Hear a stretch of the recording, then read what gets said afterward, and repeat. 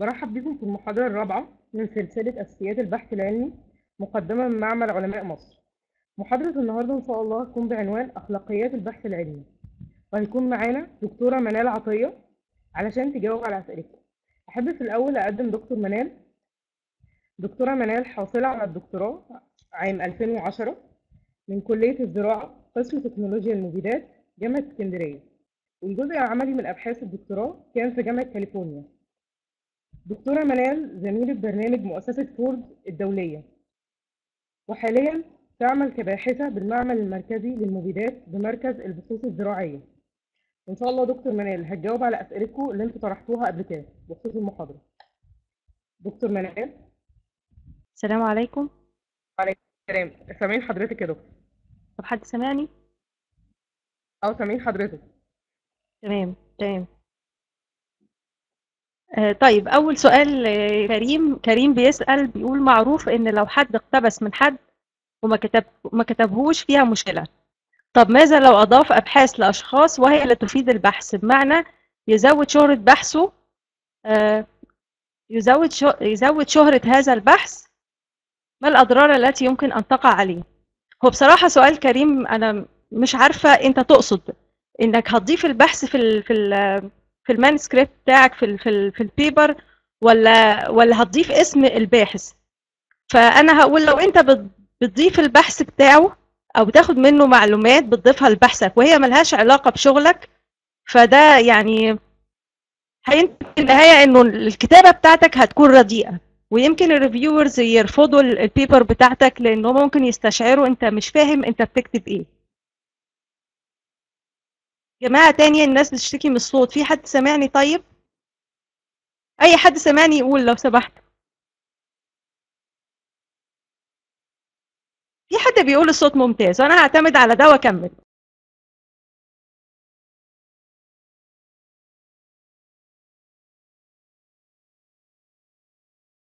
علاقة بشغلك آه، كنوع كده من الديكور أو الحشو.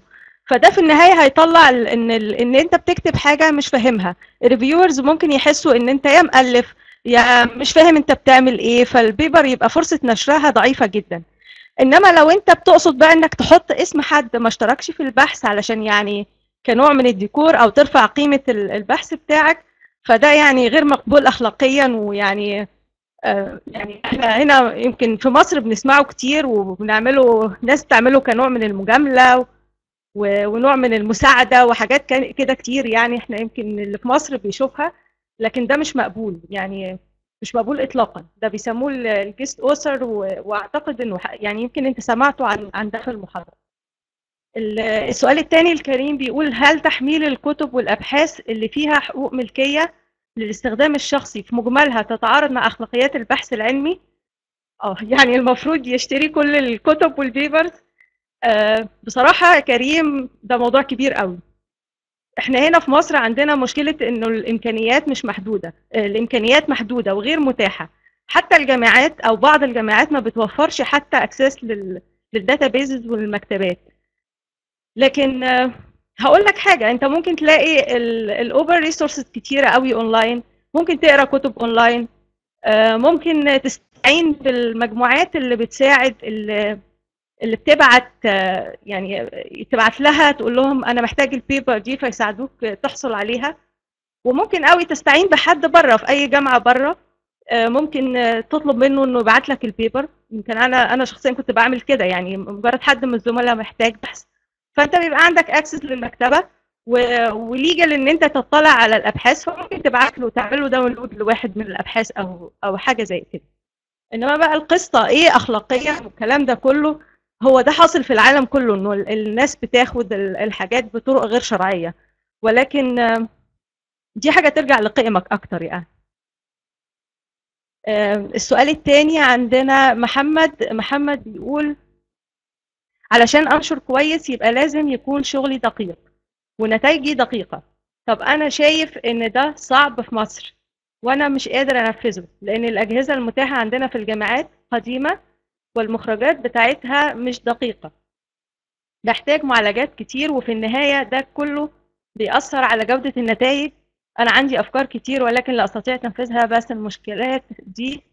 في النهاية كل ده هيأثر على النشر أو معنى تاني حتى لو نشرت مش هتبقى في مجلات عالية. آه، أنا بستنى اليوم اللي أخلص فيه ماجستير علشان أطلع بره لأن بره هلاقي كل الإمكانيات اللي عايزها. ده مش صعب إحنا بالبحث مش عارفة يعني آه المهم محمد هنا بيتكلم عن موضوع مهم جدا. آه موضوع ال- الأجهزة ال- اللي متاحه عندنا وإمكانياتها الضعيفة ويمكن آه، عدم إتاحتها معظم الوقت. يعني أحيانا بتبقى في أجهزة موجودة لكن متاحة للبعض ومش متاحة للبعض الآخر.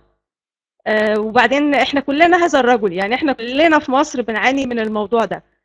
آه، الأجهزة ممكن حتى تفضل في ال- في العلب بتاعتها لأنها عهده آه، شخص معين وتفضل حتى زي ما جت ما ما بتستخدمش لمجرد إنها عهدته ف فبيرى إن هو يتحكم فيها بشكل حتى ولو كان سيء يعني. آه، لكن عموما عشان أنا ما أضيعش بقى في الكلام في وصف حالة كلنا عايشينها كفاءة الأجهزة ودقتها دي بتكون واحد من العوامل اللي ممكن تأثر على نتائجك مش كلها. يعني أنا مش عارفة إيه طبيعة شغلك لكن خليني أتكلم عن حاجة اسمها كاليبريشن أو المعايرة. آه، الأجهزة المفروض بيتعمل لها صيانة وتخضع لعمليات معايرة علشان أقدر أستخدمها. آه، خليني أقول لك مثال بسيط قوي أنا أنا عندي آه، عندي مثلا جهاز بستخدمه في شغلي اسمه micro applicator هو حاجة بسيطة جدا بتمكنني إن أنا أطبق كميات محددة من المواد السامة على الحشرة في مكان معين وبطريقة معينة. الجهاز ده فيه syringe آه، إزاز glass فمرة اتكسرت ف دورنا إن إحنا نلاقي ال original بتاعته مش لاقيينها. الحل إيه يا ده الحل إيه؟ نتوقف عن الشغل بقى يعني نستنى لما نجيب جهاز جديد ولا هنعمل إيه؟ كان الحل بسيط جدا إن إحنا نستخدم أي syringe إزاز أو glass ونعمل لها calibration بمجرد إن إحنا هنعمل لها calibration بالزئبق وهنعدل النتائج بتاعتنا بالفرق اللي اللي يعني مثلا المفروض إن هي تديني واحد microliter بالظبط على الحشره أما أنا عملت القياسات وال calibration بتاعتي لقيتها بتدي واحد وواحد من من عشرة مثلا مع إن هو كان أقل من كده. ففي هامش بسيط تعديل فاقدر أطرحه أو أظبطه من نتائجي. الحاجة الثانية إن أنا دايما أو اللي أنا فاهمه اللي أنا فاهماه في شغلي إن أنا دايما بيبقى عندي مجموعة control أو المقارنات. آه، ال control أنا مش متابعة الشات للأسف فمش عارفة إيه اللي بيحصل يعني بس آه، المقارنات أو ال control أنت دايما هنفترض إنك مثلا آه، شغلك على تطوير موتور العربية ان هو يستهلك كمية أقل من الوقود. فأنت بتعمل شغلك وبتعمل قياساتك على ال- المنتج اللي أنت طورته وبتقارنه. نفس القياسات بتعملها على المنتج الأصلي اللي ما تمش تطويره. فاللي بيهمك هنا إنك تشوف الكفاءة بتاعة الموتور أو الكميه ال- الوقود اللي بيحرقه قلت بنسبة قد إيه. فهو غالبا ال- يعني نقطة ال- الفروق في في القياسات الدقيقة دي ما بتكونش آه، هي المؤثر الشديد. ثانيا أنت أنت بتنشر وأنت مثلا بتكتب ال position بتاعك إنك في جامعة مصرية. معروف مدى ال- الإمكانيات بتاعتك فمش هيبقى مطلوب منك إنك توصل لحاجة خارقة يعني. الحاجة الثانية إنك تدور على حد عنده الجهاز ده أو عنده الأجهزة الأكثر دقة. وتعمل معاه collaboration يعني حد يكون آه، مهتم بالموضوع اللي انت بتشتغل فيه. سواء جوه مصر أو حتى بره مصر يعني انت ممكن تشتغل لمستوى معين وتحصل على نتائج مبشرة شوية في شغلك وتبدأ تراسل الناس وتعمل معاهم تعاون. أنا عايز أجي أشتغل عندكم الجزء ده لأن مش متاح له أجهزة في في مصر عندي أو في ال- المؤسسة اللي أنا بشتغل فيها وهكذا. أعتقد إن أنا كده يعني إيه أتمنى إن أنت تكون كده يعني آه، وصلت لحاجة من اللي أنا قلته.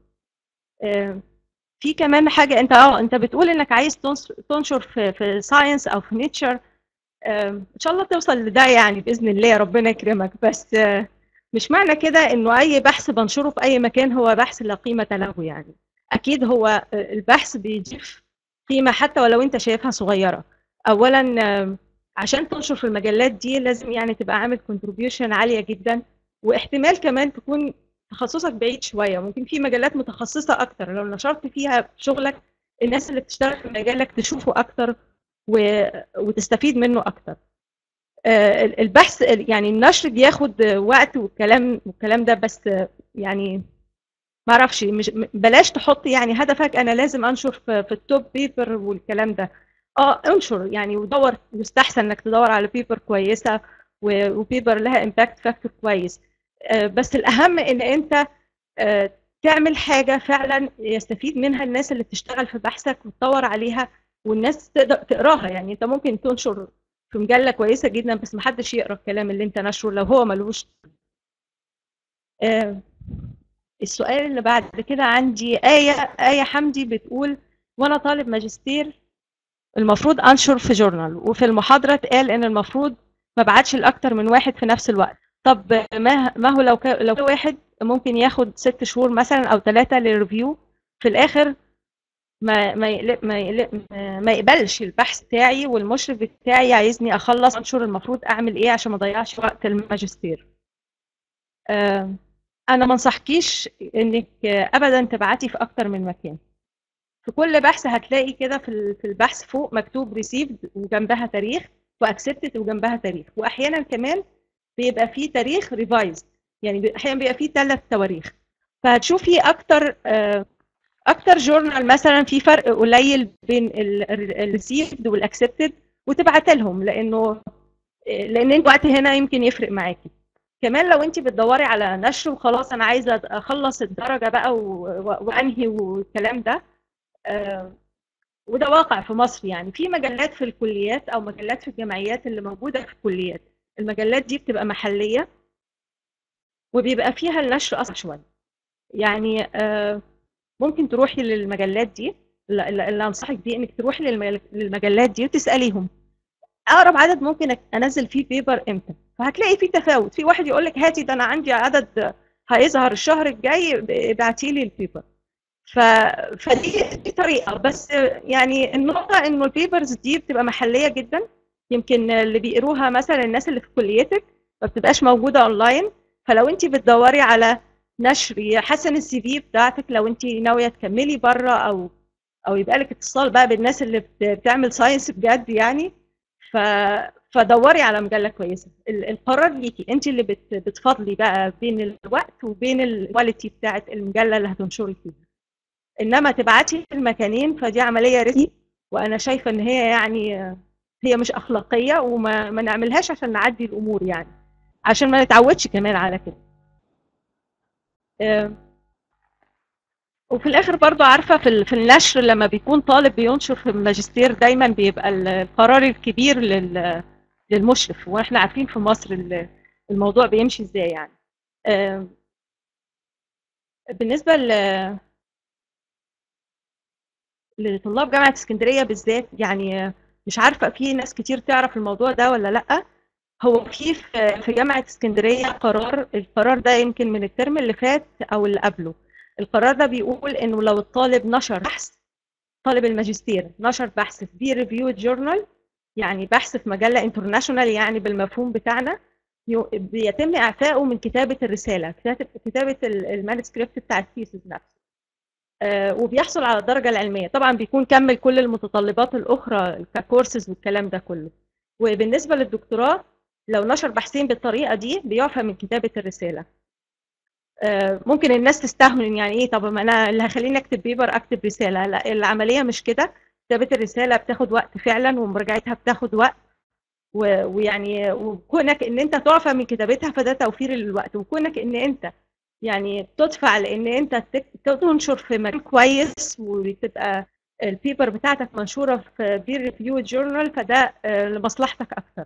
فأنا أنصح يعني نصيحتي الشخصية إنه لو في طالب آه، بيشتغل شغله يحاول إن هو يبدأ يفكر في نشره في في مجله كويسه آه الكلام ده في جامعة اسكندرية أنا ما أعرفش بقية الجامعات إيه أخبارها يعني.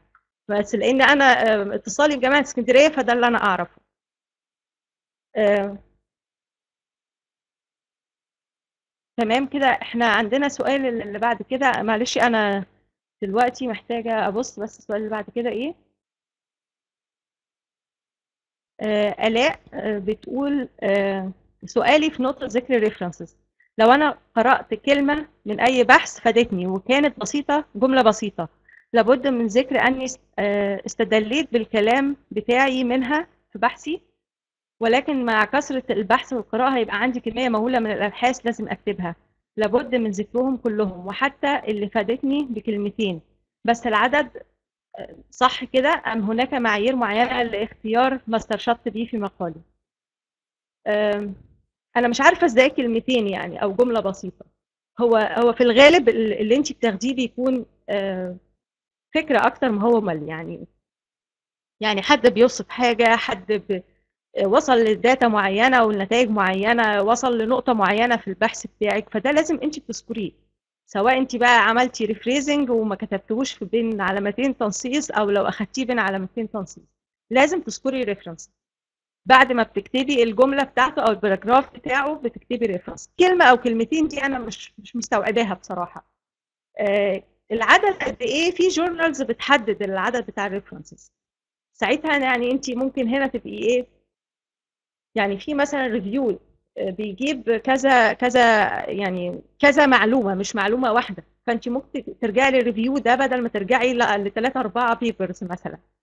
آه، ال- الرسالة بقى لو أنت بتكتبي رسالة ما بت- ما بتتقيديش ب- ب- بمجموعة references فده اللي أنا يعني مش عارفة أنا كده وقتك ولا لأ بس آه، أنا مش مستوعبة حكاية كلمتين أخدهم يعني. مصطفى مصطفى بيقول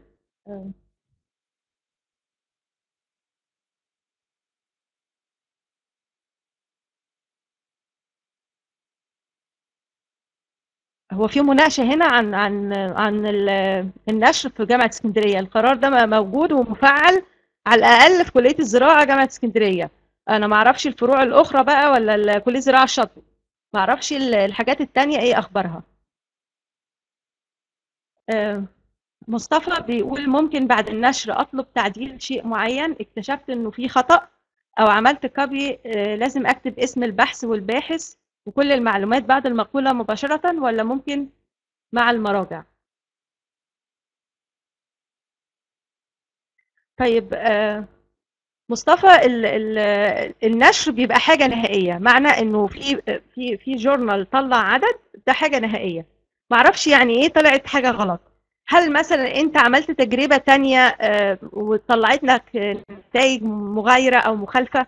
لو في الحالة دي أنت ممكن تنشر بحث تاني خالص إن أنت آه، ال- ال- البحث الأول مثلا خلاص انتهى ونشرته وكان فيه معلومات معينة أو وصلت لنتائج معينة آه، وبعدين لما عملت تجارب أخرى ممكن تجارب أكتر أو آم، قياسات مختلفة أو ظهرت حاجة جديدة ممكن بتعمل بحث تاني. آه، هتناقش فيه بقى نتائج البحث الأولاني وت... وت... وترجع له وتكتب إن شرط البحث ده وكانت النتائج فيه كذا كذا ولأنك كنت بتستخدم الطرق مثلا آه، بلا بلا بلا ف... فأنا لما لجأت للطرق التانية كانت النتائج بالشكل الفلاني والاستنتاج بتاعي ممكن يكون كذا فده يعتبر بحث تاني يعني ما مش هتقدر ترجع تقول لأ أصل البحث البحث هصلح فيه حاجة. آه، أما بقى لو كانت حكاية إن أنت نسيت تكتب حاجة ولا اكتشفت إن أنت كاتب حاجة من النتائج غلط فده يعني ما أعتقدش إن هو وارد لأن البحث عشان يتنشر بيمر بمراحل كتيره قوي ومراجعة و... وإنت بتراجعه وال authors اللي معاك بيراجعوه. وكمان بيروح لل reviewers بتوع ال journal فبيراجعوه. ما أعرفش حكاية الخطأ دي تيجي منين إلا إذا زي ما قلت لك لو انت غلت حاجة جزء تاني وضح أكتر غير ال data وات بقى يعني. آه، لو عملت copy لازم أكتب اسم البحث والباحث وكل المعلومات بعد المقولة مباشرة ولا في الآخر. لا الكلام ده انت بتكتب جنب ال- ال- المقولة أو ال paragraph أو الجمل اللي انت اخدتها بتكتب بس اسم الباحث وسنة النشر بتاعته. أو بتكتب رقم ال reference. وبترجع تكتب الكلام ده خالص في الجزء بتاع ال references. مش لازم ان انت تكتب لي كل التفاصيل في ال- يعني بس الاسم و- وال- وسنة النشر. مثلا آه، آه، فلان سنة كذا أو فلان et al سنة كذا وبترجع ورا خالص في في ال references في ال- البحث بتكتب لي ال- البحث آه، مين ال authors بتوعه كلهم و واسم ال ال آه، عنوان البحث والمكان بتاع النشر بتاعه وهكذا. آه، رشا رشا بتقول لنا أنا مش عارفة أنا سريعة ولا أنتم متابعين معايا ولا إيه الأخبار؟ إيه الأخبار يا شباب؟ تمام. رشا بتسأل آه، في موضوع عدم تعدد النشر. المفروض أعمل سبمت لبحثي في مكان واحد. لو تم رفضه أعمل في مكان آخر وهكذا. برغم من الموضوع تنافسي بمعنى أنه من الممكن في تلك الفترة ينشر بحث آخر في نفس موضوع بحثي مع أن بحثي له الأسبقية في العمل. ما رأيكم في تلك الحالة؟ طيب هو موضوع التنافس ده وارد سواء انت نشرتي الأول وديتي بحثك بسرعة وديتيه في أكتر من مكان هو وارد. لكن التطابق يعني نسبته تكاد تكون يعني مش عارفة ضعيفة جدا. آه، لأنه حتى لو أنت بتش- بتشتغلي في نفس الموضوع فأنت دايما بتوصلي لحاجة وبأسلوب مختلف عن غيرك. أنت مهما مهما كان التوارد الأفكار يعني أو بتدرسي نفس الفكرة. آه، لو دخلتي أي معمل مثلا مع مشرف ولقيتي معاه ثلاثة أربعة طلاب هتلاقي كده إيه؟ إيه ده؟ شكل المواضيع قريبة اللي بيشتغلوا فيها. ولكن في النهاية بتلاقي إن كل واحد مطلع أفكار ونتائج وشيء مختلف عن الموضوع ده.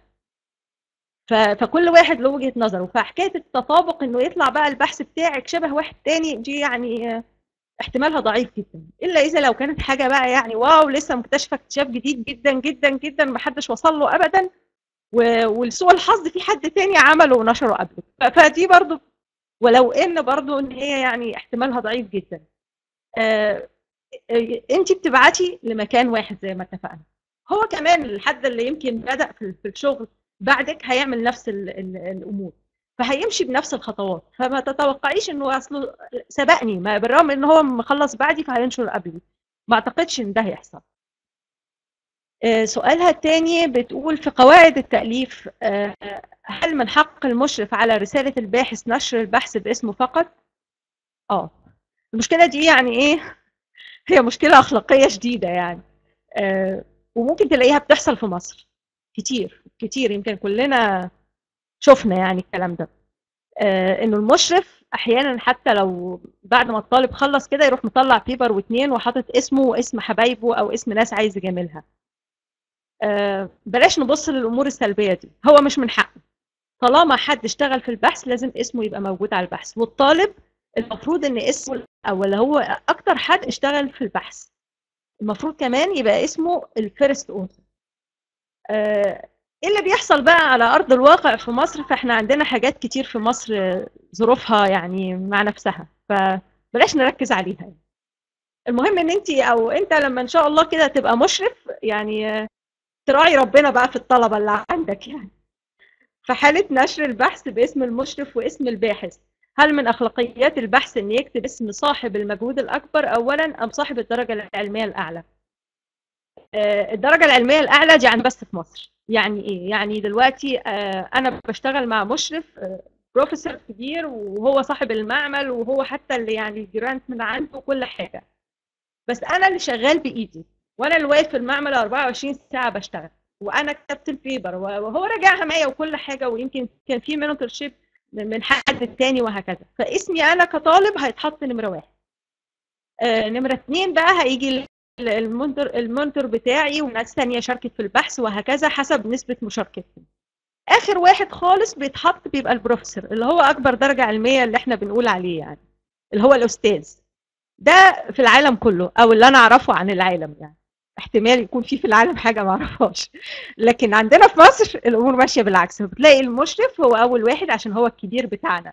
وبعدين بقى الطالب ممكن يدحرجوه إن شاء الله يحطوه آخر واحد على البيبر. طبعا ده مش صح و- ومش عدل. وربنا المستعان بقى يعني في المواضيع دي الكلام فيها يطول يعني. آه، ندى ندى بتسأل بتقول كان عندي أسئلة في نقطة تقطيع البحث. طب لو كان البحث بتاعي ليه تطبيق في أكتر من مجال بمعنى آه، بمعنى أحسن كل جزء من وجهة نظري ممكن يفيد في مجال معين. ينفع أقطعه وأبعت لكل مجال الجزء اللي يفيده؟ ولا لو آه، طلب إيه الحل لحاجة زي دي؟ طيب آه، أنت عرفتي من المحاضرة إن تجزيء الداتا ده هو هو حاجة غير أخلاقية. آه، لكن لكن لو أنا عندي داتا يعني هخليني أضرب مثل عشان نحاول يعني ال- الأمر يبقى واضح شوية.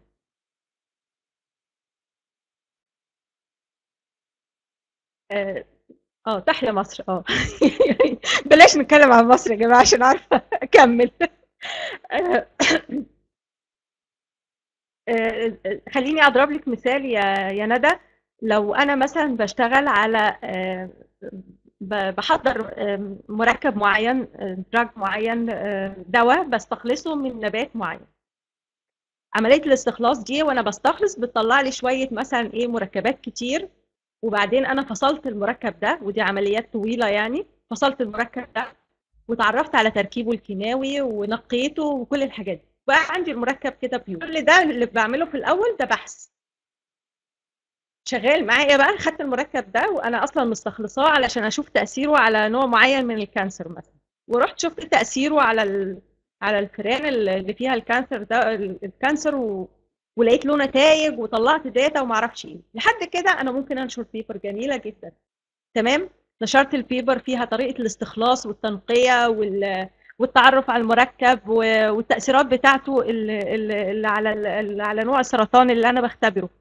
طب لو هو في نفس الوقت بقى لقيته بي- بيأثر على على مرض تاني أو على على على مثلا نقول على نبات مثلا على فطر بيصيب نبات أو أو بيسبب ضرر للنبات أو على حشرة أو على وات حاجة تانية خالص. ساعتها هنا أنا من حقي أخده وأعمل تجربة على الحاجة التانية خالص دي وفي الغالب هيبقى معاكي حد تاني من المجال اللي انت هتشتغلي فيه ده مثلا سي بتشوفي تأثيره على الفطريات اللي بتصيب النبات ساعتها هيكون معاكي حد من أمراض نبات مثلا حد من من مجال تاني خالص. آه، في الحالة دي هتنشري. هتنشري إيه بقى؟ هتنشري بحث تاني آه. بس هتنشري إيه؟ هتنشريه من الأول خالص من أول ما استخلصتي المركب؟ لا. هتنشري التأثيرات الجديدة اللي انت اختبرتيها على الكائن التاني. وهترجعي بالنسبة لاستخلاص المركب الكلام ده كله هتقولي هترجعي ك reference لل paper بتاعك فما بيبقاش ده اسمه تقطيع لل data. يعني مثلا أنا كمان ممكن أوصل لشيء معين آه، وممكن يتطبق في مجالات كتير. أنا ممكن أذكر ده في ال conclusion مش لازم أعمل كل ده. أنا في الغالب هعمل التطبيق اللي related بالنقطة البحثية بتاعتي بس. فمجرد إن أنا بحط حتى في الكونكلوجن بتاعتي أو في السجيشن بتاعتي اللي هي توصيات في الآخر إنه المركب ده كمان ممكن ينفع في كذا وكذا وكذا وهيفيدني في كذا. ففي النهاية يبقى عندي آه، توصيات ممكن باحثين تانيين بعدية بيشتغلوا في المجالات المختلفة دي يقدروا يستفيدوا منه تمام كده يا ندى؟ طيب ندى كمان بتقول في حاجة بالنسبة لنقطة النشر. المفروض كده إننا نبعت لجورنال واحد ونستنى الرد. ماشي ما ينفعش نبعت لغيره وهكذا. أحنا أنا جاوبت على الموضوع ده.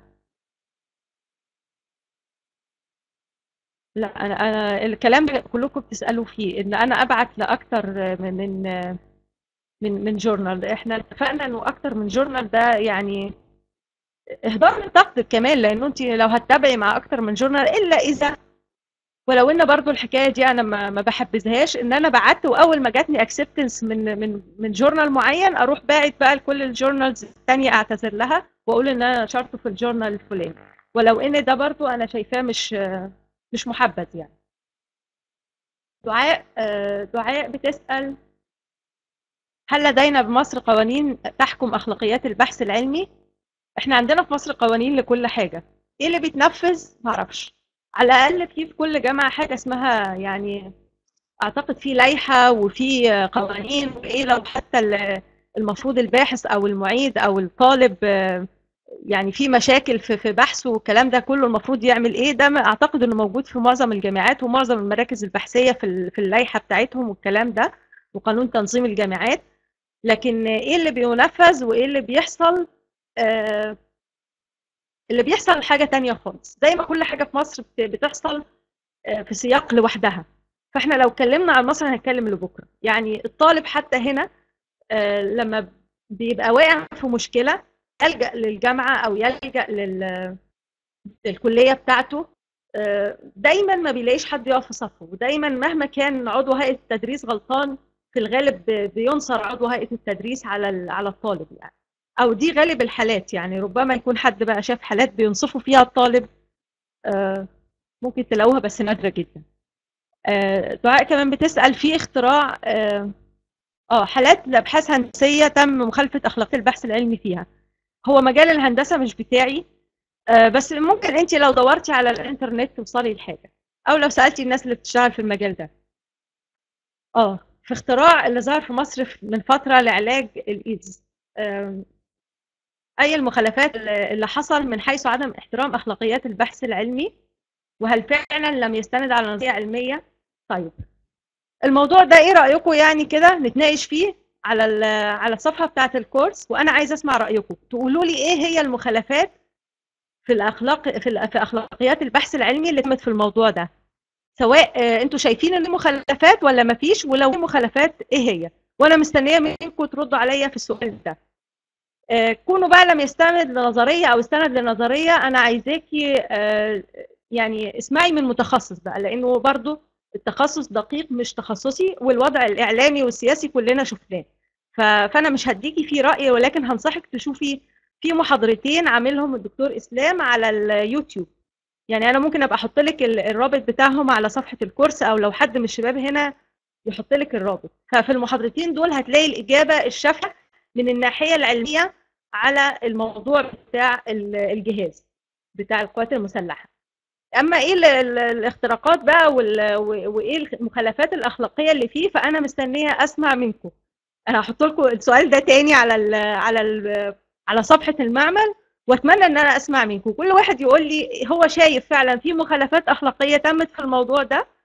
ولو في آه ولا لأ ولو في هي إيه؟ اتفقنا؟ آه. في ناس بتقول أيوه يعني طيب بس قولوا لي زي إيه بقى؟ يعني واحد اتنين تلاتة ال- ال- ال- المخالفات يعني آه، أسمعها منكم.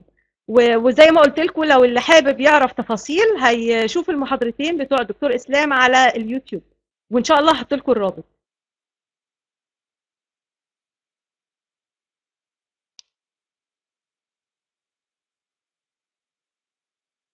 طيب آه، إحنا الحقيقة عندنا كم جميل من الأسئلة وبعدين اللي بيحط سؤال بيكتب قصه طويلة.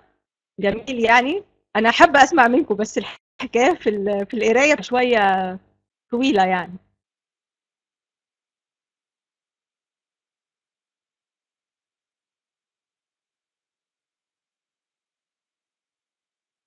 طيب أستاذ عز الدين بيقول محاضرة جميلة جزاكم الله خيرا وجزانا وإياك. ليه؟ العقاب يعني جزا الله دكتور اللي قال المحاضرة بقى يعني خيرا عننا كلنا.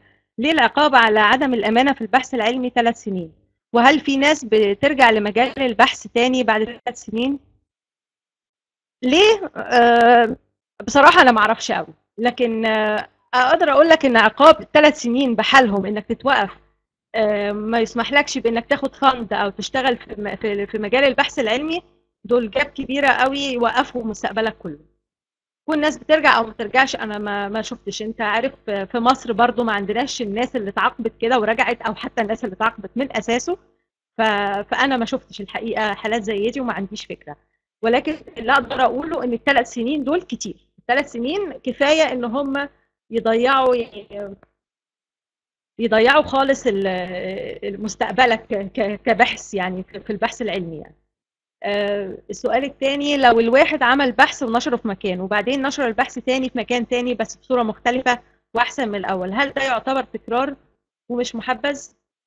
لو نفس البحث مفيش أي نتائج جديدة وبس اللي حسنته مجرد الكتابة أو طريقة التحليل أو الكلام ده كله آه، بيبقى تكرار لكن لو أنت آم، يعني اشتغلت على على نفس النقطة بس بحث ادى نتائج جديدة استخدمت طرق جديدة في الشغل اكتشفت حاجة جديدة. في كتاب جديد طلع ساعدك إنك توصل لمعلومات ما كنتش تقدر توصل لها قبل كده. زي مثلا لو إحنا كنا بنتكلم في في حاجة مثلا تخص دراسات المادة الجينية مثلا ال DNA وما كانش الأول معروف تركيب ال DNA والكلام ده كله. لو حد عمل بحث قبل اكتشاف ال DNA وبعد اكتشاف تركيب جزيء ال DNA هتلاقي إن هو عنده tools مختلفة تديله نتائج أوضح. في الحالة دي هيبقى بحث تاني. أما إذا كان تعديل في الكتابة ولا تعديل في ال في ال في ال في, ال في, طرق, في طرق التحليل طرق العرض الكلام ده كله ف فلا طبعا ده تكرار. آه، دلوقتي لو الواحد طلع نتائج بحثه الأول ونشره وبعدين اكتشف إن اللي اتوصل ليه في الأول ليه نتائج أخرى أنا شايف إن من الأمانة ينشر نتائج جديدة ولا ده هيغير النتائج؟ طبعا لو النتائج اتغيرت لو انت يعني عملت اي حاجة تانية حصلت على نتائج مختلفة المفروض من الأمانة طبعا إنك تنشرها في بحث تالي له وتناقش فيها نتائج البحث الأول. وطبيعي حتى إحنا في ال في ال discussion أو اللي هو الجزء المناقشة بتاع البحث بتاعك وبتاع نتائجك دايما بترجع لأبحاث الناس اللي اتنشرت قبلك حتى لو منهم بحثك وحتى لو بحثك اللي اتنشر قبل كده كان عاطي نتائج مخالفة للي انت حصلت عليه. آه، بالنسبة للجزء الخاص بالتجارب الطبية الطبية آه، تم ذكر إن الواحد يفضل آه، يقدم ويقول إنه ماشي على القوانين في جهة معينة وقوانينها. ممكن أمثلة على هذه الجهات؟ طيب أنا في مصر ما ما عنديش أمثلة واضحة إلا أنا أعتقد إن وزارة الصحة ممكن تكون مسؤولة عن الموضوع ده. لأن برضو مش مجالي و- ولو أعتقد ممكن دكتورة رشا تفيدنا في الموضوع ده. آه، في الجزء الطبي أيضا تم ذكر أن ال- المفروض الواحد ما يحطش أسامي المرضى.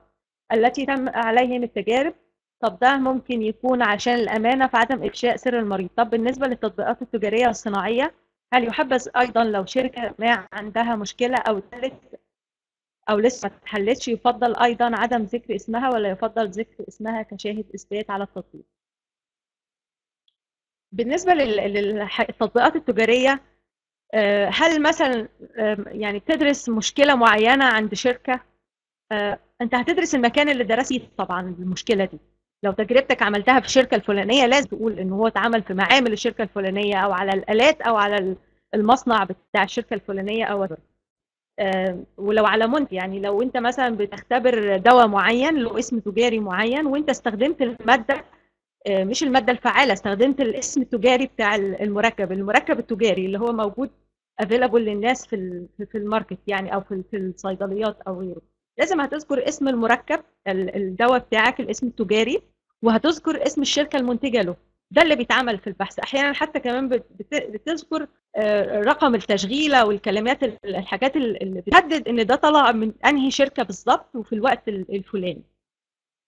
ده بالنسبة للمنتج. أنا يعني أنا بما إني مش في مجال الصناعة برضو كون إن أنت درست حاجة داخل شركة تخصها هي بس أنا أعتقد إن أنت لازم هتذكر ده. هتذكر إن أنت يعني درست المشكلة دي وطريقة حلها في الشركة الفلانية أو حلتها للشركة الفلانية أو درستها في الشركة الفلانية وكانت عندهم المشاكل واحد اتنين تلاتة و... وأنا بوصي إن ممكن نعمل كده أو ما نعملش كده يعني أعتقد لازم تذكر ده.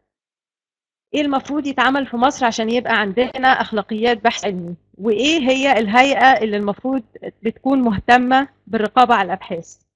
إيه السؤال الجامد ده؟ آه، والله بقى يا أستاذ عز يعني آه، إيه اللي المفروض يتعمل في مصر؟ مصر المفروض يتعمل فيها حاجات كتيرة قوي قوي قوي يعني يعني مش مش مش عارفة أقول لك أبدأ منين ولا منين. بس في مصر الأمور كلها متلخبطة وحاليا الأمور متلخبطة زيادة عن اللزوم. بس أنا خليني ابص ل- لنفسي. لو لو كل واحد كل واحد مننا آه، بما إننا ناس عرفنا يعني إيه أخلاقيات بحث علمي وداخلين الموضوع ده يعني كل واحد مننا يلتزم اولا هو وبعدين يطالب المجتمع يلتزم.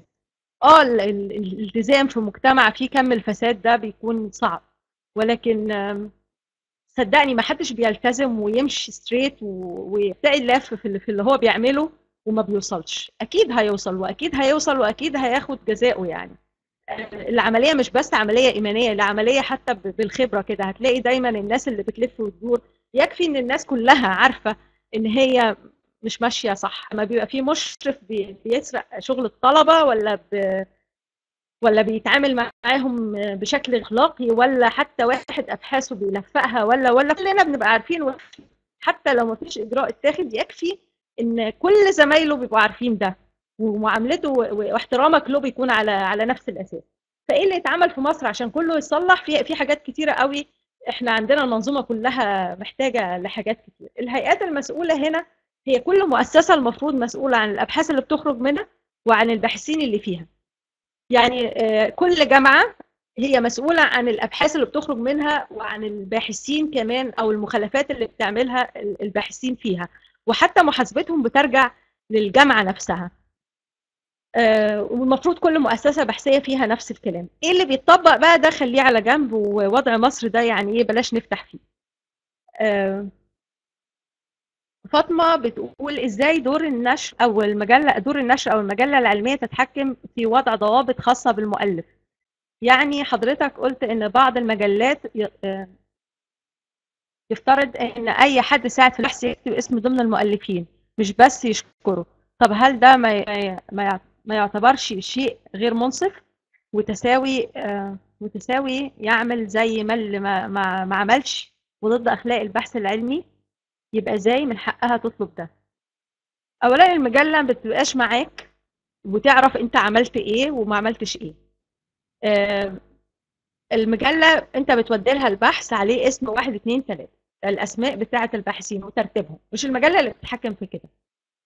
انت اللي بتتحكم في كده أو اللي, اللي بيبعت البحث هو اللي بيتحكم في كده. كل واحد شارك في البحث أحيانا بتبقى نسبة المشاركة أقل من حد لحد وده بنتغاضى عنه بالترتيب. أو بالاتفاق من الأول ان في كولابريشن أنا وفلان بنعمل البحث انت هتعمل واحد اتنين تلاتة وأنا هعمل واحد اتنين تلاتة وفي الآخر هنقعد مع بعض نناقش الموضوع ونكتبه ونراجعه وهكذا. انت ممكن تشارك بنسبة بنسبة مثلا معينة في في بحث نسبة صغيرة وفي نفس الوقت غيرك ممكن يشارك في بحثك بنسبة صغيرة. فالعمليه مردودة يعني ما فيهاش ظلم. إنما دور النشر هي مش هي اللي بتتحكم. أنت أنت اللي بيبقى عندك دي أمانة أخلاقية أنت حاطط أسامي ناس فعلا اشتغلت ولا أسامي ناس حطيتها أنت مجاملة. أو اللي هو الريسبوندنج اوثر اللي هو مسؤول عن اللي هو بيعمل بيقدم البحث للمجلة. وعن الكلام عن دور النشر إيه ملكية دور النشر للبحث؟ يعني هل بس بينشر ولا على غرار السؤال السابق تقدر تتحكم فيه؟ ولا لأن هي تعتبر تقوم بدور المشرف أو الوسيط بينك وبين المشرف أو المراجع على البحث؟ يبقى حقها حاجات أكتر من النشر. على سبيل المثال هل طلب الفلوس مقابل رؤية البحث؟ ده حق من حقوقها. يا ترى إيه تاني يعتبرها ملكية لها؟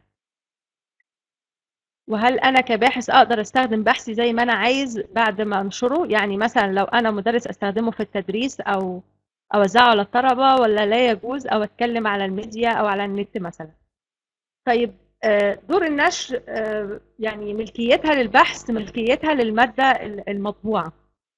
أما الأفكار بقى والبحث بتاعك وإن أنت تحطه في كورس أو تدرسه للطلبة أو حتى هو يبقى متاح للناس دي دي قصة ثانية إنما أنا أعمل له داونلود من من على من على المجلة آه هي هتتحكم في ده.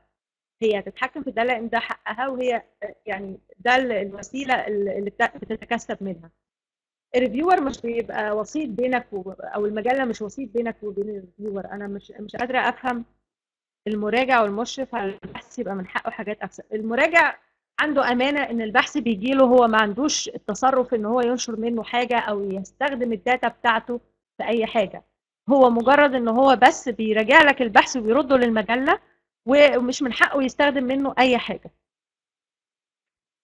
آه. أنت كباحث آه هتستخدم بحثك زي ما أنت عايز وأنت عندك ال raw data وعندك الأفكار وكل حاجة ما أعرفش هطبعه إزاي؟ هوزعه على الطلبة إزاي؟ هل مطبوع يعني ولا تقصد تضمنه ضمن كورس ولا لا؟ لك الحرية على ما أعتقد يعني؟ في برضو شيء مش عارف مش عارفة أفهمه موضوع تغيير ال data. ده هيغير شيء ضد اخلاقي أخلاقيات البحث. هل المقصد هنا تغيير ال data بعد ما عملت التجارب ب data أولية ما ظهرتش النتائج الموجودة منها؟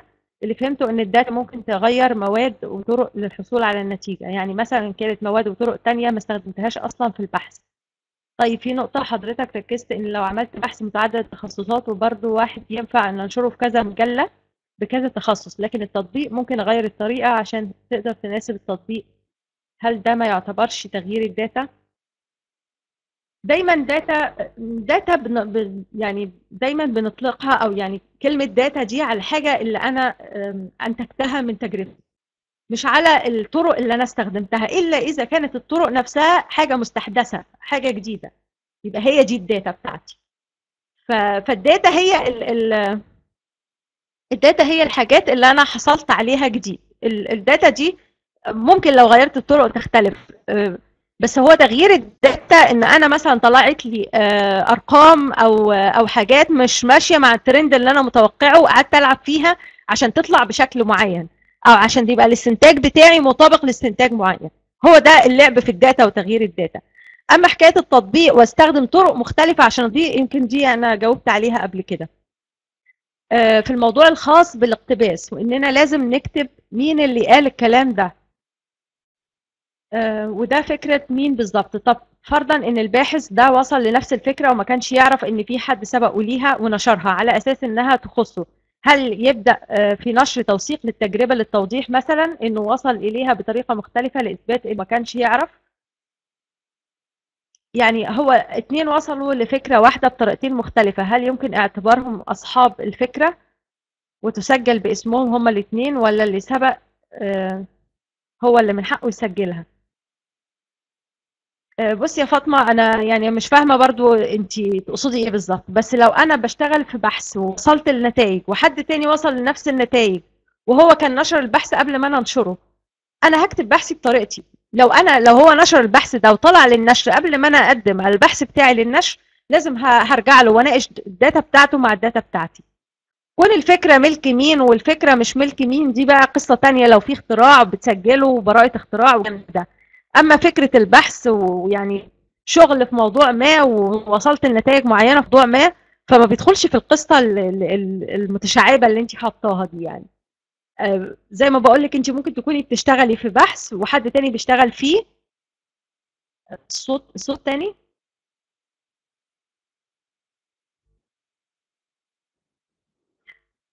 طيب الحمد لله. آه لو انت آه لو انت بتشتغلي في نفس الموضوع ودلوقتي أما عملتي search في, في الآخر كده وانت بتناقشي ال data بتاعتك وانت بتكتبي ما كانش الموضوع بتاعه اتنشر. خلاص انت انت هتودي موضوعك للنشر. لو كان اتنشر يستحسن ان انت تحطيه ضمن ال data بتاعتك في ال discussion بتاعك. والله فلان عمل الكلام الفلاني هو كمان. أو مثلا لقى نتائج قريبة من النتائج بتاعتي أو النتائج بتاعته كانت عكس النتائج بتاعتي. يعني أتمنى إن أنا كده أكون جاوبت على سؤالك. أستاذ أحمد بيقول لي أسئلة للنقاش. ماشي. إلى أي حد يكون على الطالب الالتزام بقضية حقوق الإنسان؟ أذكر أني سألت أحد أصدقائي الأطباء الذي يكمل اختصاصه في سوريا رغم حمله للجنسية الأمريكية. لماذا لم تذهب إلى أمريكا؟ فأجابني هناك سببان اولا صعوبة تحويل الشهادة وثانيا أننا نملك ها هنا الكثير من الحالات ولا يوجد تدقيق على طريقة العلاج. فيتسنى لنا التدريب وتجريب الكثير من الأشياء التي ستكون محرمة علينا في أمريكا. الغريب أن هذا الطالب من الأوائل على دفعته. طيب بص يا آه، دلوقتي حكاية التجريب على المرضى بالذات في الموضوع ال- إن الطلبة الأمريكان والطلبة اللي من من جنسيات أخرى بيجوا يجربوا في مصر ده موضوع منتشر جدا لدرجة إن في منح بتقدمها الدول دي لمدة شهر أو شهرين. عفوا. شهر أو شهرين بيجي الطالب ي- يعمل شغل في مستشفى هنا عندنا.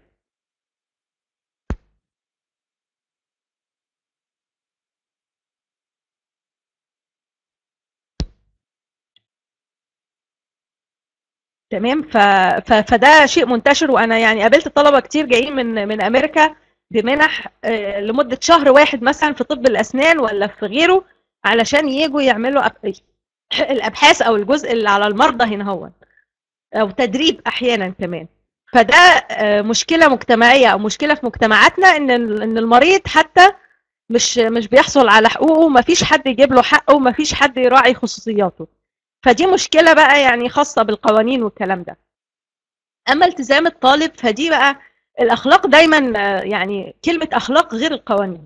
الأخلاق دي يعني أنا ممكن في شيء متعارف عليه إنه غير أخلاقي وناس تسمح لنفسها تعمله. فدي في الأول وفي الآخر بترجع لقيمك. أي مدى هتلتزم بيه ده يرجع لقيمك. بس برضو اللي أنا بقوله إنه ال... الإنسان عامة إحنا بنحترم والواحد بيحترم نفسه لو كان ملتزم بالأخلاق أكتر من ان هو مثلا مجرد عشان أمشي حالي يعني. الأمور برضو نسبية شوية وخصوصا في المجتمعات فيها الأمور يعني مش مش واضحة ما فيش قانون يحكم. آه، أو هو مش شايف إن هو لو ما التزمش بالأخلاقيات دي هت هتدي الأمور يعني ما مش هيخسر حاجة يعني. آه، بنسميها عندنا الفهلوة يعني كده خلص بقى نفسك والكلام ده. فالالتزام إلى أي مدى يعني؟ أنا شايفة إنه إنه إنه شيء ينبع من من جواك الأول ومن اعتراف المجتمع بقى بالأخلاق دي والتزامه بيها برضه هو اللي بيزود التزام الإنسان بيها. تاني أمر إلى أي حد يتم تحديد كونك سرقت الفكرة أم لا فكما تعرف أن العقل البشري قد يتشابه في نتائجه وخاصة بين العاملين في نفس المجال فكيف يتم الفصل أنها عملية سرقة أم إنتاج مشابه؟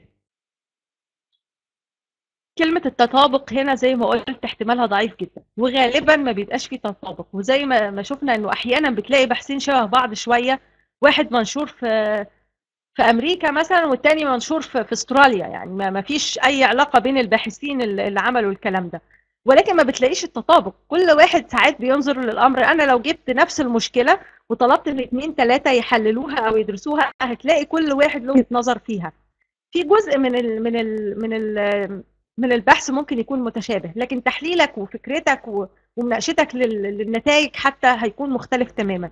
ففكرة التطابق هنا يعني صعبة جدا. إلى أي مدى بقى بيكون في سرقة أو مش سرقة؟ دي دي لو في ناس متخصصة بتحقق فيها. وغالبا لو في بي- بيبقى مثلا اللي سارق سارق ال data ما بيبقاش عنده ال raw data بيبقى في حاجات كتير ممكن من خلالها يعرف. ففي مثلا في الأبحاث الاجتماعية طرق تحليل معينة ممكن يستخدمها يعرف بيها ال data دي original ولا ال data دي متلفقة ولا مكتوبة كده ب... هقول لك مثال بسيط جدا يعني كان وإحنا طلبة يعني في, في, في, في ال under كان بيبقى مثلا إيه عايزين نقيس toxicity بتاعت مادة على الحشائش فالمفروض التجربة إنه بيتحط كمية من بذور الحشائش في pots وتتعامل. بتركيزات مختلفة من المادة دي والمفروض إنها تدينا ترند معين يعني أو نسب موت معينة.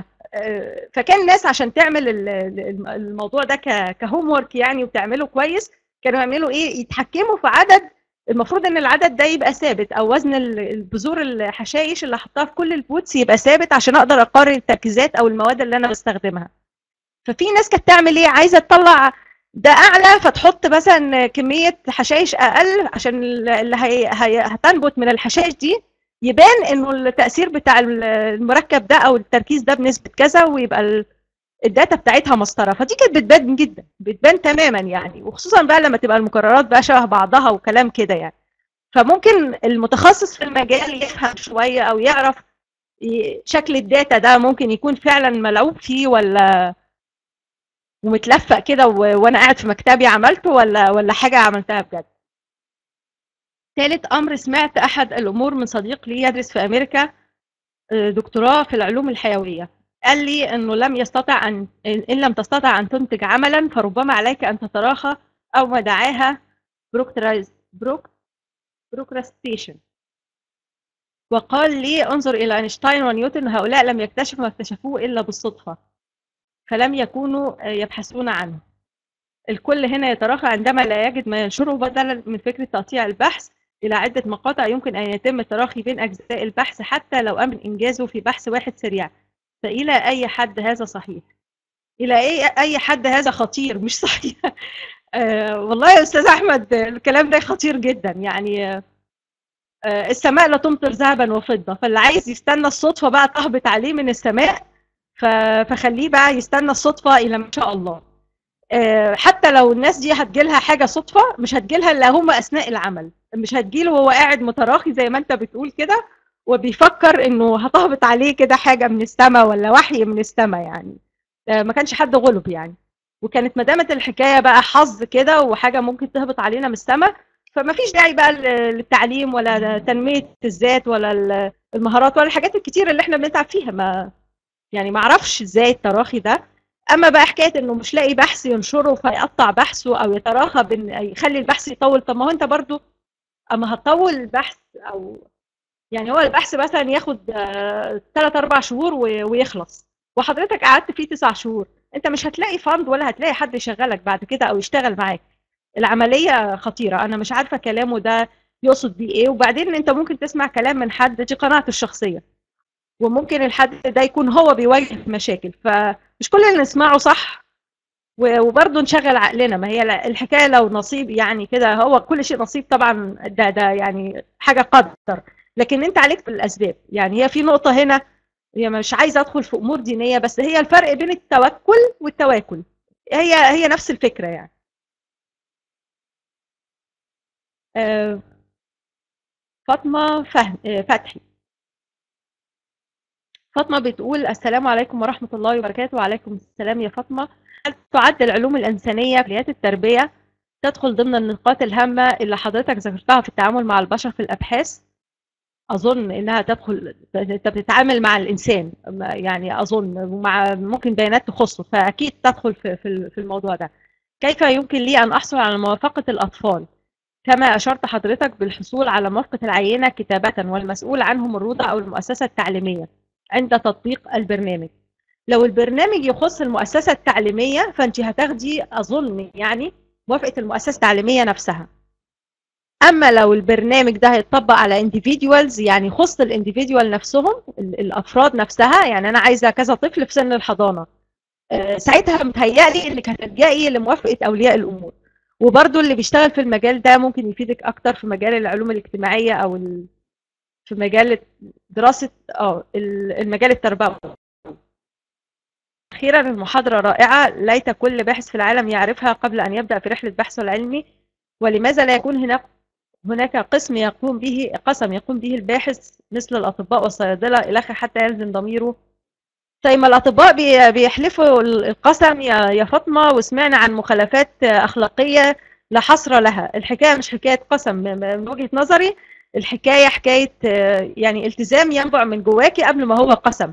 ولو في قانون هيلزم الجزء الفاسد اللي هو ضميره مش صاحي إن هو يلتزم. فيعني العملية عايزة اتجاهين اتجاه إنه يبقى ضمير ال- الشخص نفسه آه، حي وبيراعي ضميره بقى واخلاقه وال- والجزء الثاني إن في مجتمع يجبر اللي هو ما عندوش أخلاق مجتمع وقانون يجبر اللي ما عندوش أخلاق إنه يلتزم. لأنه لو هو هي- يعرف إن مستقبله هيضيع وإن هو خسران هيلتزم غصب عنه لو هو ما عندوش ضمير يعني. لكن بما إن العملية مثلا لوز ما فيش قانون فهتلاقي مثلا إيه في نسبة كل البشر مخلوق فيه الخير وفيه الشر في ناس ضميرهم آه، شغال وناس ضميرهم مسافر على طول. آه، من النقاط الهامة في المحاضرة هي كيفية التعامل مع البشر في الأبحاث وحيث أني أعمل في الأبحاث التي تقوم يقوم بها آه، مع الإنسان سواء الطالبات أو المعلمات أو الأطفال أو أولياء الأمور أو المجتمع المحيط بالطفل في مرحلة الطفولة المبكرة حيث استفدت منها. أولا جزئية هامة والحمد لله التزمت بها وهي أخذ الموافقة كتابة من العينة التي سيتم معها التطبيق ومن المسؤول عنها. ثانيا أنه ليس شرط أن يظل أفراد العينة معي حتى نهاية البحث حيث تلقيت ذلك آه، من خلال التطبيق على عينة أكبر من المطلوب تحسبا للظروف. تحسب طيب يعني أنت عايزة تبدأي بعينة أكبر عشان لو في ناس انسحبت من من من من العينة بتاعتك أثناء التجارب توصلي للحد الأدنى ما يبقاش الح- العينة تحت الحد اللي هو يعني ما يخليش العينة صحيحة أو ممثلة.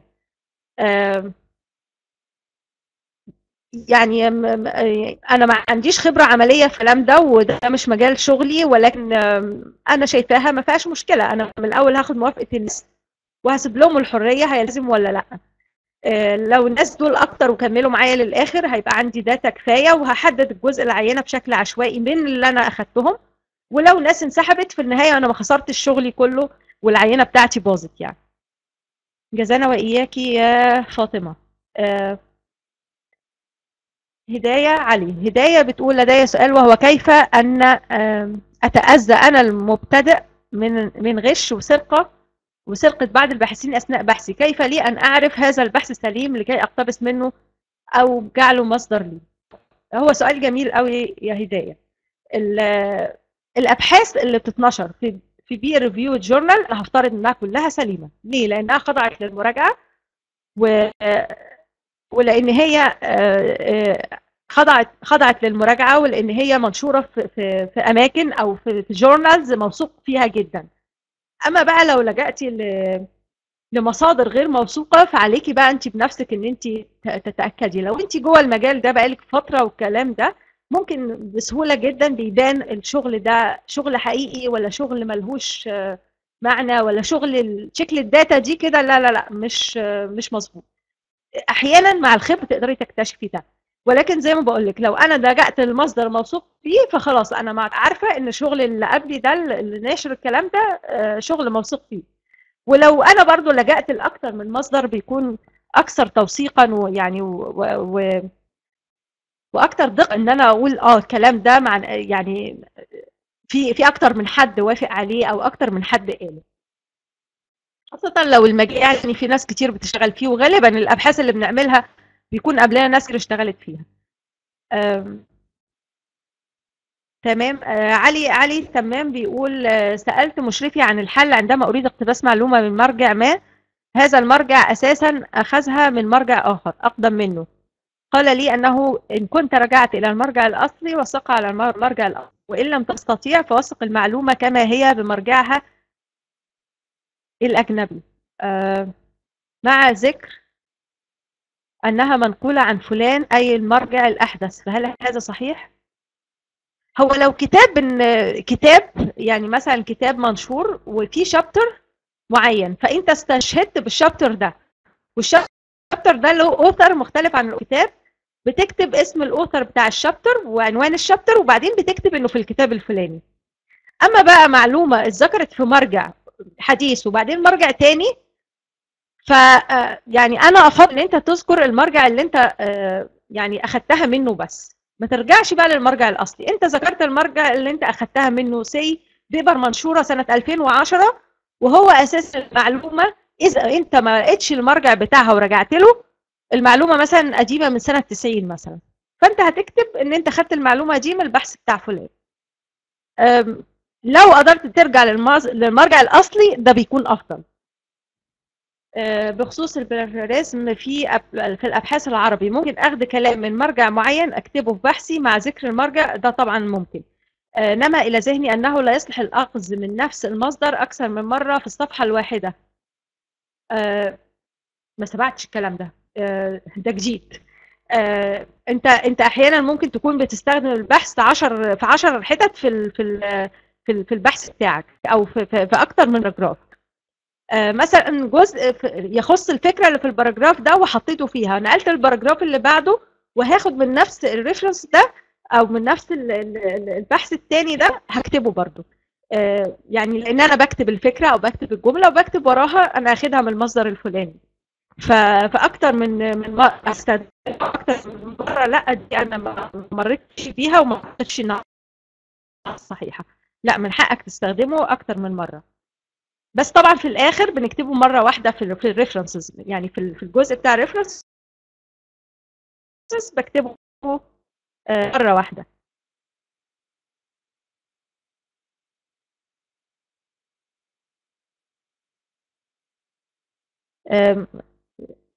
كان كان في سؤالين. سؤالين ليه؟ سؤالين ليه؟ ما أنا أنا قلت علي أنا قلت السؤالين. أنا مش عارفة مين اللي بيقول عنده سؤالين. طب خلينا الحاجات اللي ما قلتهاش أو اللي أنتوا شايفين إني ما قلتهاش في الآخر عشان بس حق الناس اللي سألت.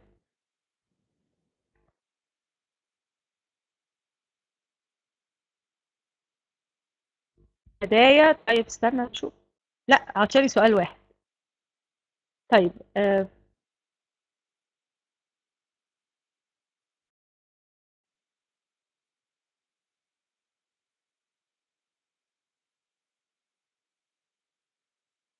ولاء سؤالي هو لماذا أنشر في مجلة علمية؟ إيه العائد اللي بيعود عليا علميا؟ في مصر نشر لدكاترة الجامعة فقط للترقيات أول أولا يحق للطالب النشر هذا أم هذا مخالف للأخلاقيات أم لا؟ وماذا يحدث بالفعل في بلدنا؟ ولا العائد عليكي علميا إيه؟ أنت بتعملي بحث علمي ليه؟ عشان تحطيه في الدرج ومحدش يسمع بيه؟ عشان محدش يستفيد منه؟ العائد إنه انت بتنشري فكرتك للناس اللي بتشتغل في نفس المجال أو للمجتمع العلمي عشان يستفيد بيها يبقى ليها يرجع لها تحلي مشكلة ما. كل ده لازم انت تعرفي الناس. لو انت عملتي بحث وستوب ما, ما عملتلوش بابليكيشن انت ما عملتيش أي حاجة. مين اللي عرف يعني إن انت عملتي بحث ولا عملتي إيه؟ فهو ده العائد عليكي إن انت بحثك يتعرف. آه هو ده العائد للنشر العائد العلمي. في عائد تاني لو زي ما انت بتقولي كده الدكاترة في الجامعة عشان الترقيات. انت مش هتترقي أو توصلي لل position الأعلى إلا لما يكون عندك عدد من الأبحاث المنشورة. أحيانا كمان عشان تقدمي ل position وخصوصا بره لازم يقول لك انت يعني محتاجين يعني الأفضلية هتكون اللي عنده عدد أكتر من الأبحاث ك first author فهو ده العائد. اللي بيحصل إيه في مصر بقى بالنسبة لاسم المشرف واسم الدكتور اللي بيحصل ده بقى عليه كلام. يعني اللي بيحصل في مصر بيرجع لكل واحد بقى. يعني في في مشرف عنده يعني عنده ضمير وفي مشرف زي ما أنتم عارفين. يعني في مشرف يصر إن اسمه الأول وفي مشرف ساعات يدخل كمان ناس ما لهمش أي علاقة بالبحث على البحث بتاع الطالب ويقول له هتحط اسم فلان وفلان. يعني يعني ما أنا مش مش عارفة يعني هدخل في السياسة وكلام رهيب يعني. يعني في بعض الأساتذة زوجاتهم يجي يعني هو زوجته قاعدة في البيت ومعززة مكرمة ويجي يحط بقى اسم زوجته على أبحاث الطلبة اللي هو بيشرف عليهم. عشان هي لازم تترقى كمان في وظيفتها بس تترقى برضه بطريقة ما يعني. فده غير أخلاقي وغير مقبول لكن اللي بيحصل بقى سيبنا من اللي بيحصل يعني شكله إيه. لكن هو الحق إن الطالب الطالب أكتر واحد اشتغل بيتحط الأول. ومش من حق الطالب إنه ينشر من غير المشرف ولا المشرف ينشر من غير الطالب. والحالتين موجودين في مصر وساعات بيحصلوا. آه على يدي. صح كده. صح يا امير يمنى بتقول لنا شكرا الأول على المحاضرة وجزاكم الله خيرا جزانا وإياكي. حبة أسئلة. ما شاء الله كل ده يا يمنى. طيب. اولا إزاي أقدر أبلغ وأوصل وأوصل صوتي لو تعرضت لسرقة في موضوعي البحثي أو لو تعرضت عموما لمخالفة أحد أخلاقيات البحث العلمي. هو المفروض إنه بتلجئي للمؤسسة اللي, اللي منها الباحث اللي عمل معاكي كده. لو مشرفك في الجامعة المفروض تلجئي للجامعة. آه لو في مركز بحثي بتلجئي لإدارة المركز ده. آه يمكن بره في مؤسسات ممكن تحميكي. هنا في مصر زي ما بقول لك المفروض تلجئي للجامعة. آه بس نسبة إن انت تتصدقي كطالبة وإنه يعني الناس تجيب لك حقك آه يعني ربنا بقى معاكي. لأنه أنا أنا شايفة وكلنا يمكن اللي في الجامعات شايف إنه في طلبة مهضوم حقهم مظلومين بشكل رهيب وبيشتغلوا في الفاعل بقى بمعنى أصح يعني. يعني بيشتغلوا لما تطلع عينيهم وفي الآخر هم مش طالعين حتى بإن هم يتحط اسمهم على البحث اللي شغالين فيه. وبعضهم بعضهم بيشتغل في مشاريع لا بياخد مرتب ولا بياخد إن اسمه يتحط في في البحث أو في المشروع نفسه. وهو من حقه الاثنين على فكرة بس ده ما بيحصلش في حالات كتيرة. وفي ناس منصفة وناس عندها ضمير. الصورة مش مش قاتمه إلى هذا الحد يعني. آه إزاي أعرف المعلومة اللي هبني عليها هي معلومة صحيحة ولا لأ؟ آه في جزء كده بتعمليه في الأول في, في أي بحث بتعمليه آه أو في رسالة اللي هو ريفيو إن انت بتقري على قد ما تقدري في كل ما يتعلق بالنقطة البحثية أو الفكرة اللي انت هتشتغلي فيها. ساعتها لما هتقري كتير كده يا إما هتغيري الفكرة يا إما هتعملي لها refine يعني تحدديها أكتر تحددي هي مظبوطة ولا لأ أنا في الاتجاه الصح ولا لأ. فهي القراية أو الجزء بتاع ال review ده هو اللي بيفيدك في الموضوع ده. ما ينفعش كده طقت في دماغي أعمل فكرة وأروح جري على المعمل يلا هشتغلها. غالبا لازم أقرأ ولازم أعرف إيه اللي اتعمل فيها قبل كده هل الفكرة دي حد اشتغل فيها ولا لأ طب اللي اشتغلوا عملوا إيه وصلوا لحد فين فده كله هيجي من القراية أو الجزء بتاع ال review اللي, اللي بتعمليه في الأول. إزاي أعرف إن الأفكار اللي في دماغي جديدة؟ قد تكون في دماغ حد وكتبها ولسه ما انتشرتش وبالتالي يقال عني إني سارقة بعد كده. هي دي فكرة ال review وانت لآخر يوم لحد ما تيجي تنشري قبل ما تعملي submit لل paper لازم تعملي search online وتتأكدي إيه آخر الحاجات اللي اتنشرت في البحث بتاعك. الفكرة في دماغك وحد اشتغلها ونشرها خلاص. يعني انت انت ليه في دماغك؟ المفروض الفكرة في دماغك تتنفذ. لو في إمكانية طبعا. واحيانا بيبقى في أفكار كده في دماغنا وإحنا شايفين إن لها معنى وفي الآخر لو قرينا وكده نلاقي إن هي حاجة غير ممكنة التنفيذ أو لازم تتظبط شوية يعني. ودي فايدة المشرف في الحقيقة يعني أو السوبرفايزر. ما ينفعش إن إن أنت كده تبقي قاعدة في البيت بتحلمي تعملي حاجة. أحيانا تحلمي تعملي حاجة هي لا يمكن مثلا ما فيش إمكانياتها العلمية إن هي تتعمل اللي اتعملت لحد دلوقتي. محتاجة تتظبط. وممكن تكون فكرة تبقى واو يعني. فدي حاجة. المشرف هنا المفروض انه بيوجهك للفكرة الصح أو يظبط الفكرة اللي في دماغك. بس كونها اتنشرت قبل كده زي ما بقول لك خلاص اللي سبق بقى يعني. النقطة الخاصة إني كل حاجة لازم أكتبها في المصادر حتى لو أنا اتكلمت عن تعريف ابتكاري لازم أكتب صاحبه. لو عملت كده عملية البحث كلها مش هتكون بتاعتي. إيه اللي أنا عملته غير إني عدت صياغة بعض الكلام وأضفت عليه القليل؟ لا ده مش صحيح. هو أنت في في الجزء في الجزء بتاع ال review أو ال introduction في ال paper مثلا انت بت بتاخدي اللي الناس اشتغلته قبل كده ووصلوا لإيه وبتناقشيه وبتحلليه وتقولي وبناء عليه أنا هيكون بحثي إن أنا هعمل كذا كذا. ففي الجزء التجريبي بتاعك أو حتى الجزء اللي أنت التحليل الجديد أو الرؤية الجديدة اللي أنت هتحطيها حتى في ال review paper اللي هي بتاخد أبحاث ناس تانية في منها أنواع على فكرة review فمن ضمن في review بتتكتب ككده survey وفي review آه أنت بتحطي وجهة نظرك في الموضوع إيه. إيه بقى اللي وصلنا له وايه اللي ممكن إحنا نفكر فيه عشان نوصل له؟ مفيش حاجة اسمها أنا مجرد عدت صياغة. ما, ما ينفعش. ما انت في الآخر بتقولي لي conclusion وبتقولي لي وجهة نظرك في ال data اللي الناس وصلت لها إيه وكان ناقصها إيه وكان المفروض ولو ولو البحث عملي انت بيبقى فيه جزء عملي عملتيه وطلعت data جديدة وبتقارنيها بال data بتاعت الناس اللي قبلك فكرة النشر أكتر من مرة. طيب لو أنا ليا هدف إن البحث ينشر في أكتر من مجلة علمية عشان خمسة آه، علشان العالم أو آه، أو البحث ده يوصل لعدد أكبر من جمهور العلماء. وإذا لم يكن إزاي البحث بتاعي يوصل لعدد كبير من العلماء؟ مش نشره في أكتر من مكان هو اللي هيوصله. بل, بل بالعكس يعني نشره في أكتر من مكان ده يعني هو الدبليكيشن يعني انت انت كده بتنشري البحث أكتر من مرة هو غير مسموح بيه على الإطلاق يعني ساعتها لو لو اتعرف انتهى. آه، اللي اللي بيش أكبر جمهور من العلماء هيوصل له لأن كل العلماء اللي بيشتغلوا في النقطة بتاعتك هم بيقروا ال journals اللي انت المتخصصة اللي انت بتنشري فيها. فهو لازم هيوصل لأنه هيتنشر في بحث أونلاين. لما حد هيعمل search على الموضوع ده هيوصل له.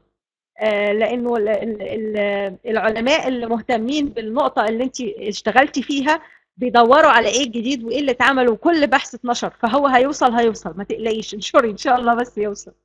آه، هل لو استخدمت البحث ده في أنشطة وتطبيقات هكون محتاجة أخذ إذن المجلة العلمية؟ لا.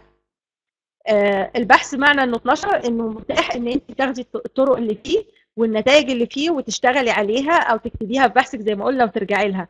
حتى لو استخدمتي طريقة هي منشورة. بتكتبي إن انت استخدمتي الطريقة to آه، أو آه، بالرجوع لطريقة فلان.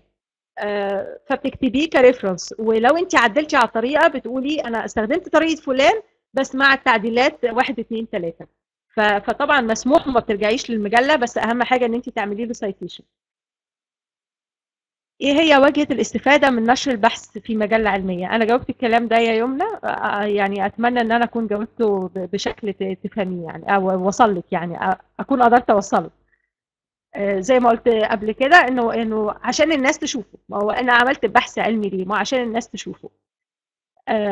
لو طلبت إذن أنت حتى في الشركات على فكرة إنه لما بيوصلوا لحاجة وبيعملوا منتج وكل ده في في الباحث اللي بيعمل الشغل ده دايما بينشر بحث آه، يخص الفكرة بتاعته مثلا مركب جديد أو أو وات يعني حاجة اشتغلها. يعني مثلا معظم المولدات مثلا آه، شركات هي اللي عملتها أو اتعملت في معامل شركات فبيجي الباحث بيكتبها وبيكتب إن هو بيشتغل في الشركة الفلانية يعني.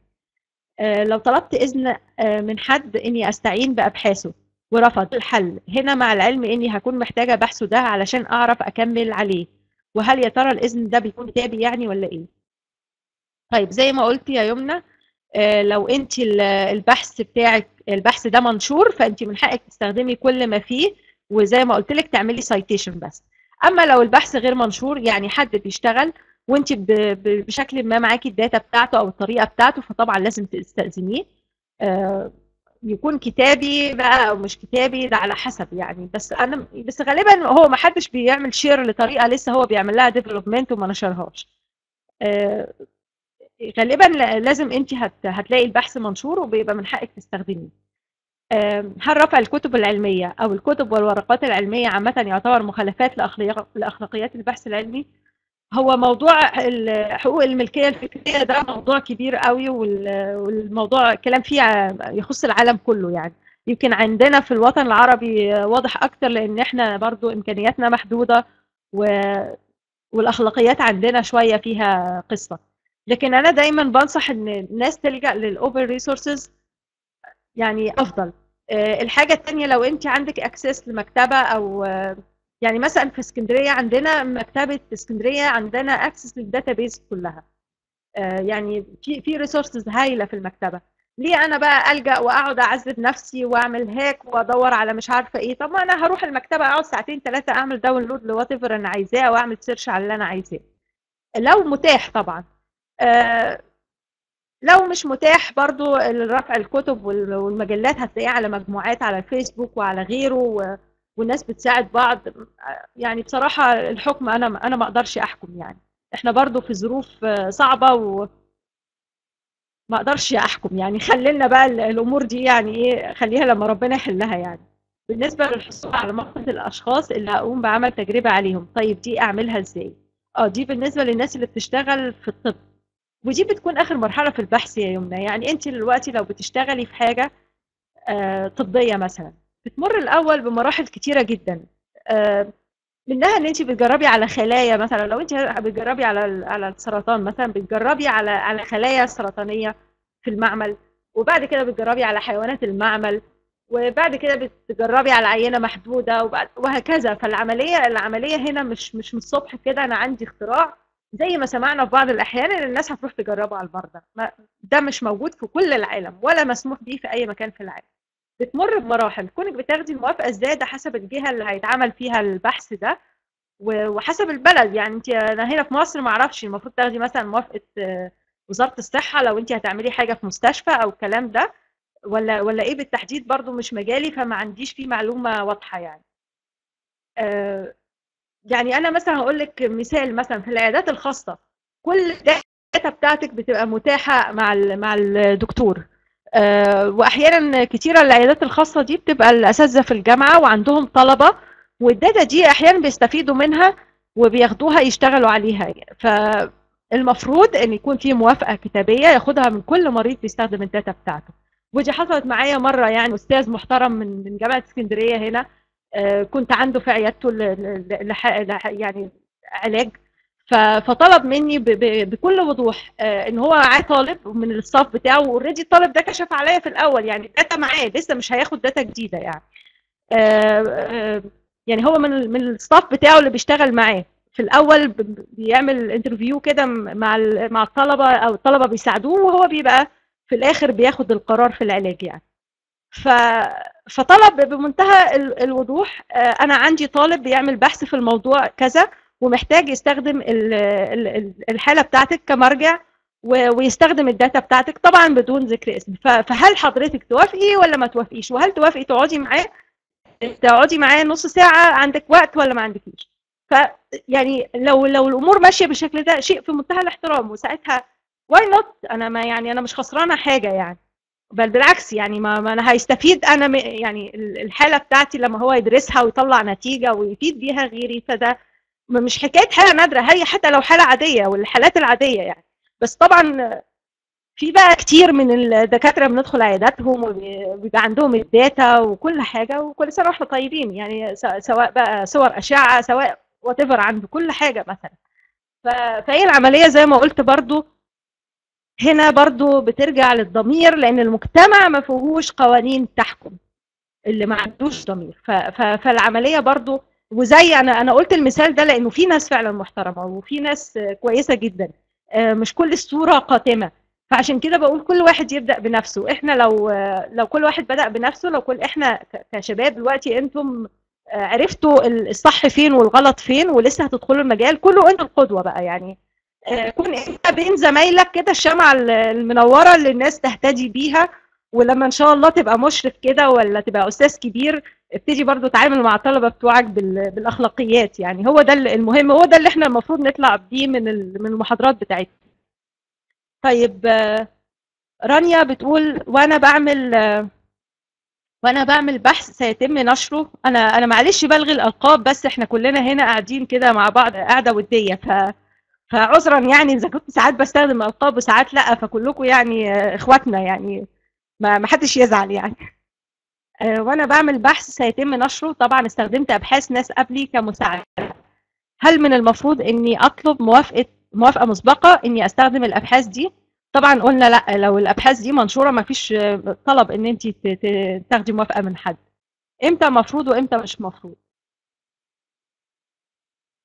آه، وأنا بعمل بحث سيتم نشره. طبعا استخدمت أبحاث نبل زي ما قلت لك لو البحث منشور مش مفروض يعني تاخدي رأي حد.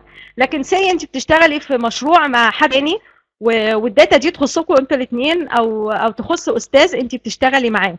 ساعتها لازم تستأذني إن انت هتستخدمي ال data دي في whatever بحثك ده أو في, في شيء تاني. سؤال تاني بخصوص ال- الاقتباس من ويكيبيديا. لو آه، استعنت ب- بفقرة من موضوع موجود على ويكيبيديا لسبب مثلا إنه مكتوب بشكل كويس ونظرا لأن ويكيبيديا لا يصلح كمرجع للمعلومات بحد ذاته. فأخذت المرجع من مجموعة المصادر اللي استعان بيها الموقع نفسه مع العلم إني استخدمت المر- المرجع ده فعلا.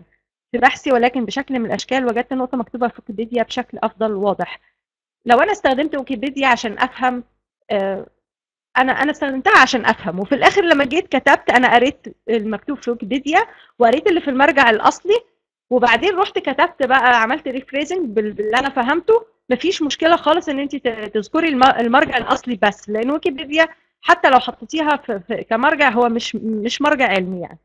فافهمي من ويكيبيديا واستخدميها كنوع من الفهم لكن زي ما رجعتي للمرجع الأصلي هتكتبي المرجع الأصلي بتاعك وده هيكون أفضل كتير آه، بسمة بتسأل هل المراجعين في أي بحث بيقروا بيقروا إيه؟ المصادر اللي حطها الباحث وإزاي يعرفوا لو عمل الباحث نسخ الحاجة بدون ذكر المصدر.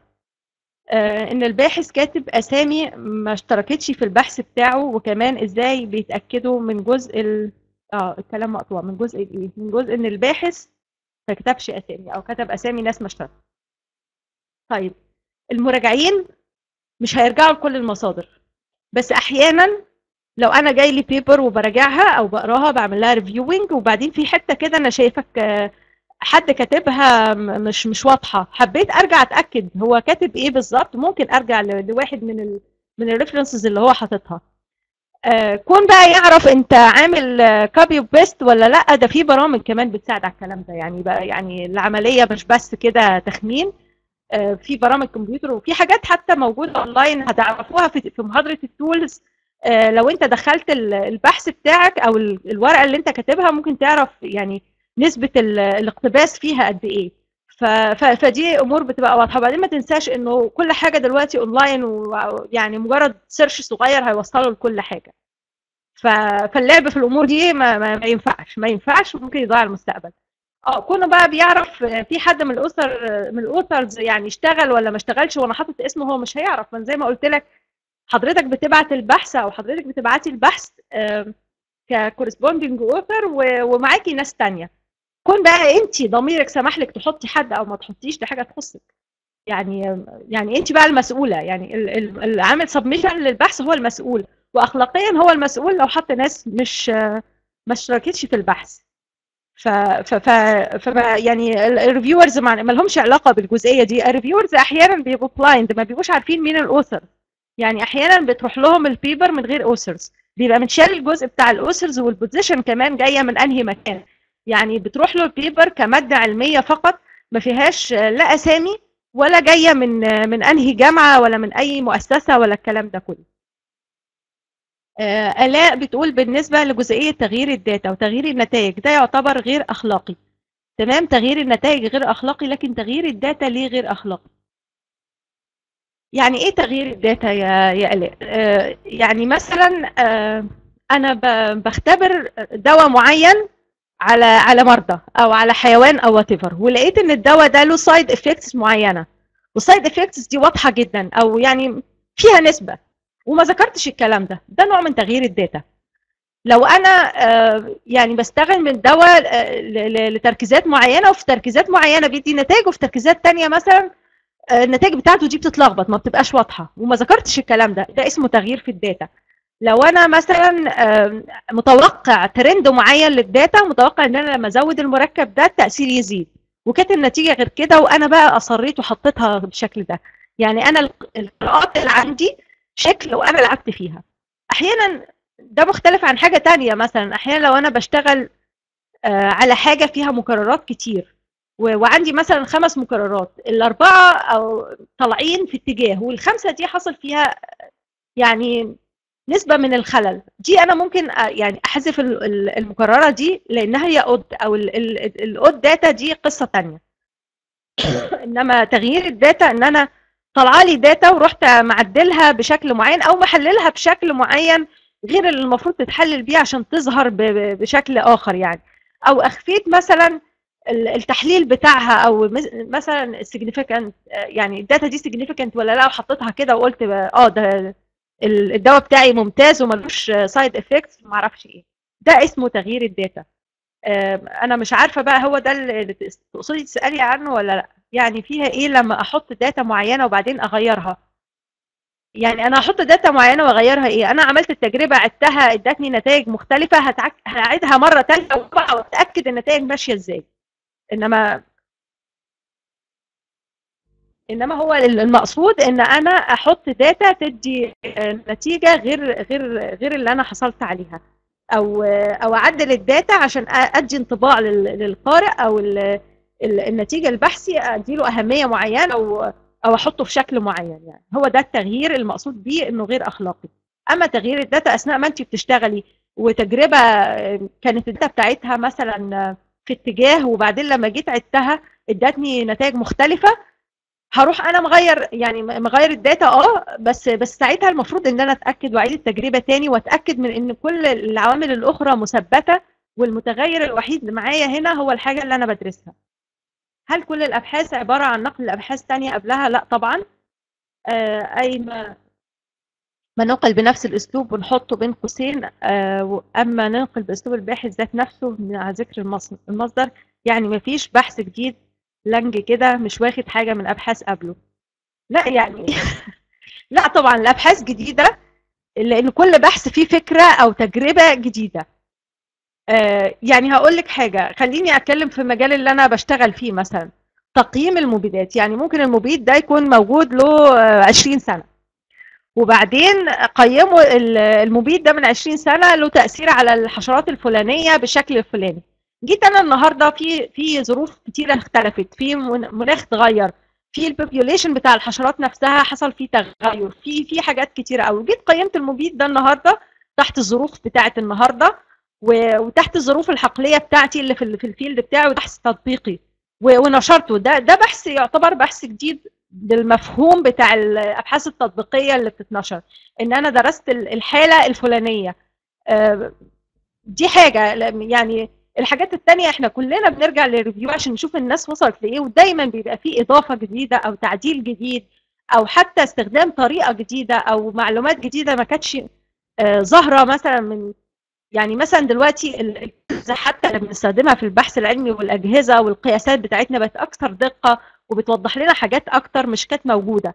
آه، دلوقتي مثلا في أبحاث كتيرة بتتعمل آه، بال molecular biology. هي كانت معمولة قبل كده على على الكائن الكامل وما أعرفش إيه لكن بندرس تأثيراتها على الجزيء نفسه على على ال DNA على ال proteins على وبنشوفها بشكل أوضح. أحيانا ما بيكونش البحث آه، مجرد إن أنا عايز أضيف فكرة جديدة. ده أنا عايز حتى أفهم معلومة موجودة. أفهمها إزاي؟ فما فيش حاجة اسمها لا كل الأبحاث مش جديدة لا إزاي يعني الأبحاث جديدة؟ وبدليل إنك لما بتقري حاجة بتضطري ترجعي البحث واثنين وثلاثة عشان تفهمي الصورة كاملة. كنت سمعت قبل كده عن البحث الوصفي والتجريبي بس مفيش ما شفتش أي فرق بينهم. هل هو ده الفرق؟ هو في في أبحاث كمية وفي أبحاث وصفية. آه، الأبحاث الكمية اللي أنا يعني بيبقى عندي كوانتيتيز أو أو حاجات أقدر أقيسها. الأبحاث الوصفية أنا بوصف بيها يعني منتج معين أو أو أو آه، أو population معين أو ظاهرة معينة بوصفها بطرق آه، مختلفة. الأبحاث التجريبية بمعنى أصح إن هي أنا بيبقى عندي آه، حاجة بجربها على حاجة عشان أشوف نتيجتها إيه. يعني دواء بجربه على مرضى أشوف نتيجته. مبيد بجربه على على حشرة أشوف هيكافحها ولا مش هيكافحها. لعبة مثلا أو أو games معينة أو برنامج معين هروح أشوف مستخدمين يستخدموه وأشوف يعني قد إيه هم satisfied عنه وقد إيه بيلبي احتياجاتهم وهكذا. يمكن دي بتبقى الأبحاث التجريبية. الأبحاث الوصفية يعني أعتقد دي ممكن تكون أكتر في في الأمور الاجتماعية يعني.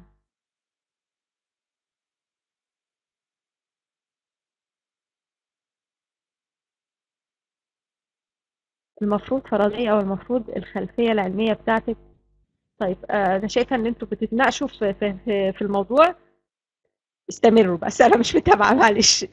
آه، بالنسبة لل للبارافريزنج هل من الصح لو مش عارفة أكتب بصيغة تانية؟ عمل تعديلات بسيطة كتغيير الفعل مثلا إلى مصدر وهكذا ولا ده يعتبر تحايل؟ آه أنت جاوبتي على نفسك يا رشا. يعني آه هو هو ممكن يكون صعب عليكي في الأول لكن صدقيني هو مع التدريب ال- الأمور بتبقى سهلة جدا. ومع تحسن برضو في في ال في ال في ال language skills بتاعتك آه، الأمور هتبقى أسهل. وهيبقى أسهل عليكي حتى كمان إن أنت تعبري بال- بالأسلوب بتاعك. آه، أحيانا كمان العملية دي مش بس خطورتها إن انت بس بتعملي copy و paste حتى لو هتغيري بقى اسم الفعل والكلام ده أحيانا بيكلكع الجملة بشكل يخليها غير مفهوم. بيخلي ال- اللي بيقرأ يعني هو المفروض ال paper بتكتبيها عشان اللي يقراها يفهمها. فبيخلي أحيانا اللعب ده الطريقة اللي بتتكلمي عليها دي أحيانا بتخلي ال- الجملة آه، عويصة جدا يعني مع قرابه الجدع يفهم يعني. ف...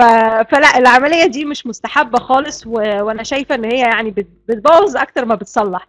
اتدربي يعني انت إن انت تكتبي وزي ما قلت لك العملية تدريب تدريب بحت يعني ولانجوج سكيلز بشكل عام و... ومهارات في الكتابة العلمية بشكل خاص يعني. آه، لكن إن شاء الله تبقي أحسن كل ما اتدربتي. آه، إبراهيم بيسأل بالنسبة لل references في لخبطة بالنسبة لي بين استخدام ال references بسبب إني أخدت فكرة من مقال أو بحث وبين إني أستخدم لمجرد لو القارئ يحب الاستزادة في الموضوع. ما حتى لو أنا ما أخدتش أفكار منه. بمعنى في بعض الكتب ممكن يحط حقيقة معينة بدون إثباتها. ساعتها بيحط reference لكتاب reference لكتاب تاني. في الإثبات يعني link المعلومة ناقصة.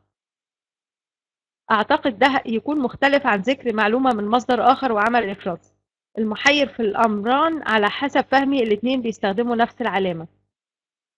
آه يعني أنت رجعت المعلومة. المعلومة دي مشروحة في, في مكان تاني. لو أنت مش عايز تكتب الشرح أو الشرح ما يهمكش أنت بتكتب أنا خدت المعلومة دي من المكان ده. اللي ما فهمش المعلومة وعايز لها شرح هيرجع للمكان اللي أنت حاطه. يعني هي... سي هيرجع للكتاب اللي انت حاطه.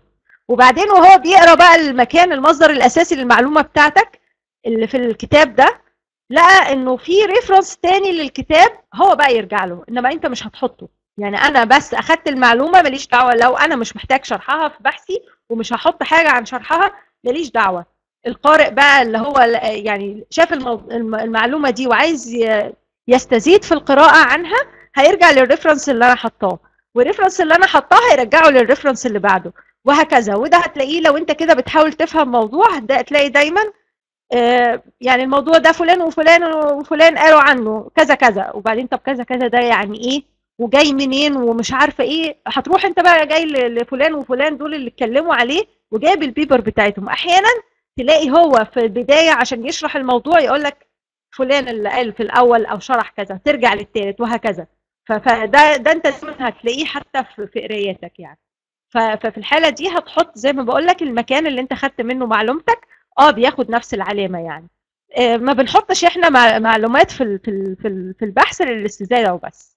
يعني ذكرت المعلومة عايز استزادة هيرجع هيرجع للبحث بتاعي. لو في معلومات أكتر هو عايزها البحث ال reference اللي أنا حطاه لو في معلومات أكتر هيلاقي المعلومات أكتر دي آه، يعني ال reference ده بيرجعه للمكان اللي فيه معلومات أكتر.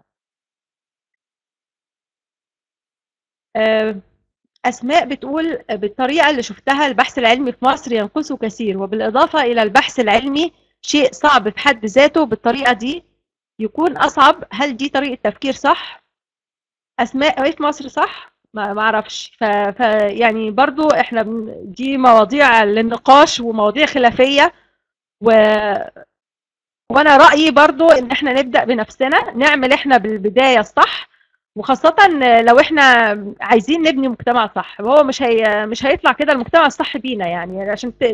يعني الجيل الموجود مثلا اللي إحنا شايفين منه أخطاء ده ده مروح حتى لو كان يعني هو اللي ماسك مقاليد الأمور وكل حاجة لكن هيعيش قد إيه أو هينتج قد إيه في مجال البحث العلمي اللي إحنا لسه بنبدأ فيه أو اللي أنتم بمعنى أصح يعني لسه بتبدأوا فيه فأنتوا ابدأوا ابدأوا على نور زي ما بيقولوا ابدأوا صح ابدأ بقيمك انت كده وابدأ. كون انت زي ما قلت القدوه يعني. انت انت حد عرف. في ناس غيرك ما اتاحت لهمش الفرصة حتى ان هو يعرف انه انه في صح وغلط وفي أخلاقيات وفي الكلام ده. كمان لو انت بتفكر ان انت تكمل دراستك بره أو ان انت حتى تطلع تعمل بحث بره لازم تكون واخد بالك جدا من الحاجات دي وتكون ال CV بتاعتك وان لما الناس تسأل عليك يعني ما يكونش في أي شبهات حواليك وحوالين شغلك. okay أسماء أما بقى يعني إيه اللي بيحصل في مصر؟ ودي طريقة تفكير صح ومش طريقة تفكير صح. خليكي انت في تفكيرك وصلحي تفكيرك و... وإن شاء الله إن شاء الله يعني الأمور تتحسن. خليكي عايشة بالأمل يعني. إيمان بتقول how can any organization such such as journal detect plagiarism أنا أنا يعني أنا جاوبت على السؤال ده. If any journal journal doesn't have an impact factor. Uh, does this mean that I shouldn't publish in my my paper? طيب انت بتنشري ليه يا ايمان لو انت بتنشري عشان تعملي كده impact والبحث بتاعك الناس تشوفه وعشان ال CV بتاعك كمان حتى أو تقدمي ل position كويس أو لمنحة أو الكلام ده كله يبقى لازم تهتمي بال impact factor لو الأمور محلية يعني أنا عايزة بس أخلص درجة علمية ومن طلبات الدرجة العلمية دي إن أنا أكون نشرت والسلام آه أنا عارفة إن هي حاجة مش كويسة بس أحيانا بتضطري تلجئي لها خصوصا عندنا هنا في مصر. يعني أنت لازم عشان تناقش الدرجة العلمية بتاعتك تكون آه تكون خلصت نشرت بحث. والبحث ده لازم يتنشر بسرعة. و... ويعني إيه هو ال quality بتاعت الرسالة كلها والمشرف اللي معاك والشغل كله. على قد حاله. ففي الحالة دي ما يعني ما تتمسكيش بال impact factor هو دايما انت بتشوفي هدفك إيه وتحاولي تأقلمي نفسك عليه بما لا يخالف. ف... فهي النقطة دي برضو هتختلف من من حالة لحالة من situation ل situation انت انت انت إيه الأهم بالنسبة لك؟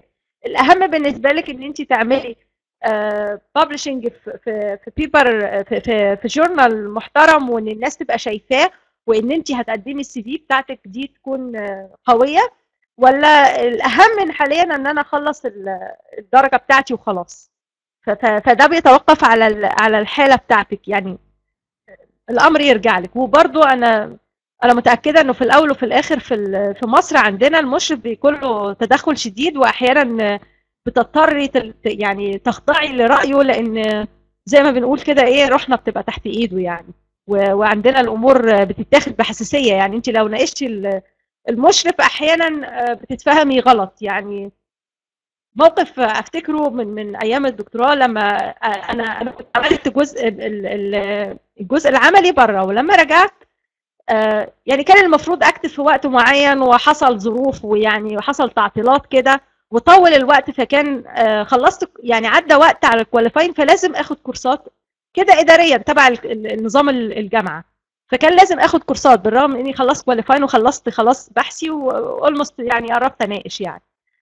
ف فناقشت مع مشرفتي في, في, في, في ال course اللي أنا هاخده. ففي عندي options مختلفة إن أنا آخد course. فمن ضمن قالت لي على course محدد. فأنا كان إجابتي إن ال course ده مش هيفيدني.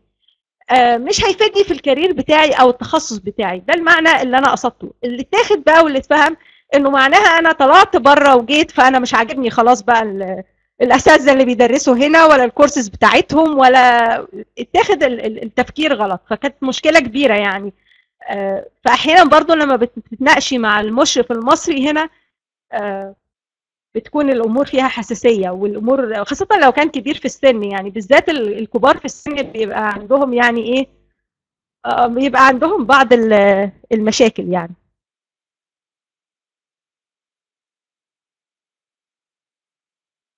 طيب أنا كده الحمد لله يعني مش مصدقة بصراحة إن أنا جاوبت على معظم الأسئلة أو كلها على ما أعتقد. ومش عارفة أنا خدت من وقتكم كتير وفي الأول أنا بدأت متأخر بس أنا ما عنديش مانع أفضل معاكم. لو حد بقى يعني حابب يسأل في حاجة يتكلم في حاجة أنا أنا ما عنديش مشكلة أنا أنا open time معاكم. المهم أنتوا تستحملوني بقى.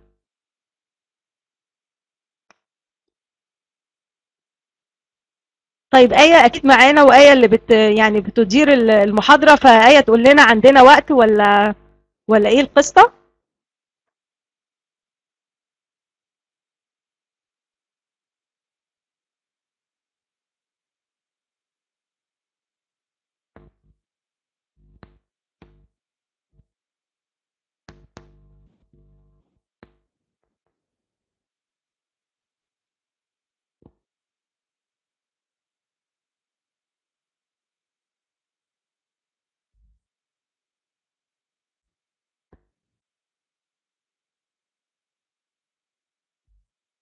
طب يمنى يمنى هو مفيش مشكلة اللي عايز ينسحب يتفضل مفيش أي مشكلة. واللي برضو عايز يستنى أو عنده سؤال أنا تحت أمركم. يعني شوفوا أنتوا حابين إيه وأنا معاكم. وبرضو آية تقول لنا إحنا إحنا إيه القصة يعني. أستاذة آية؟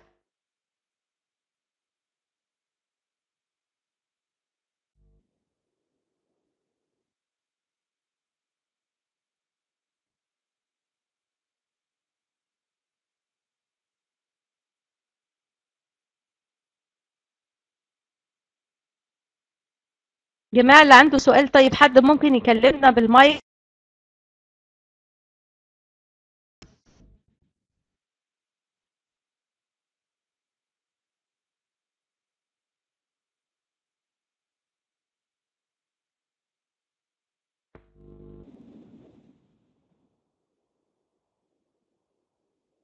طيب إحنا ممكن اللي عنده سؤال يستخدم المايك على فكرة على ما أعتقد يعني بآية.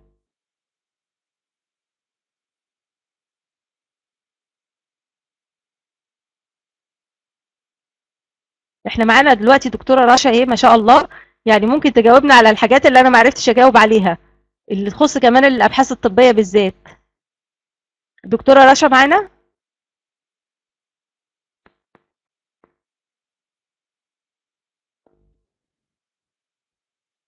حد يرد عليا يا جماعة؟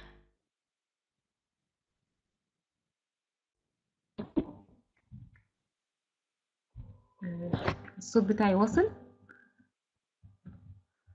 تمام أنا سامعة حضرتك. تمام تمام. جزاكم الله خيرا. ربنا يكرمك يا أنا دكتورة ممكن منال يعني المايك؟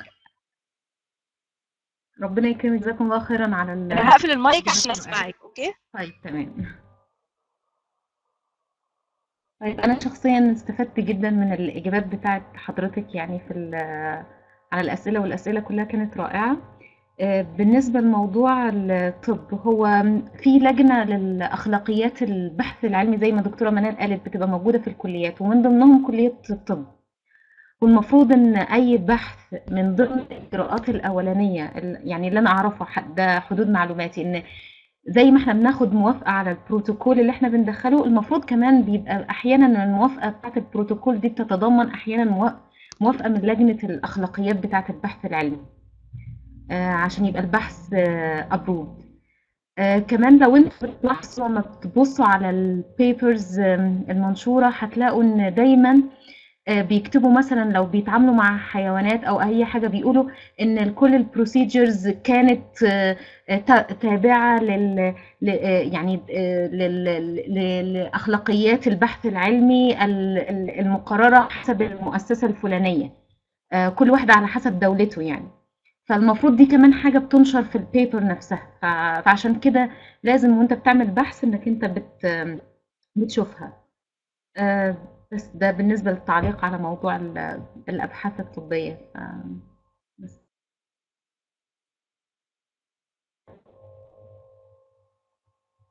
طيب أوكي ط- طب دكتورة منى ممكن أساعد حضرتك إن في أسئلة هما اتكتبت في الآخر فلو تحب حضرتك أنا آه ممكن اتفضلي.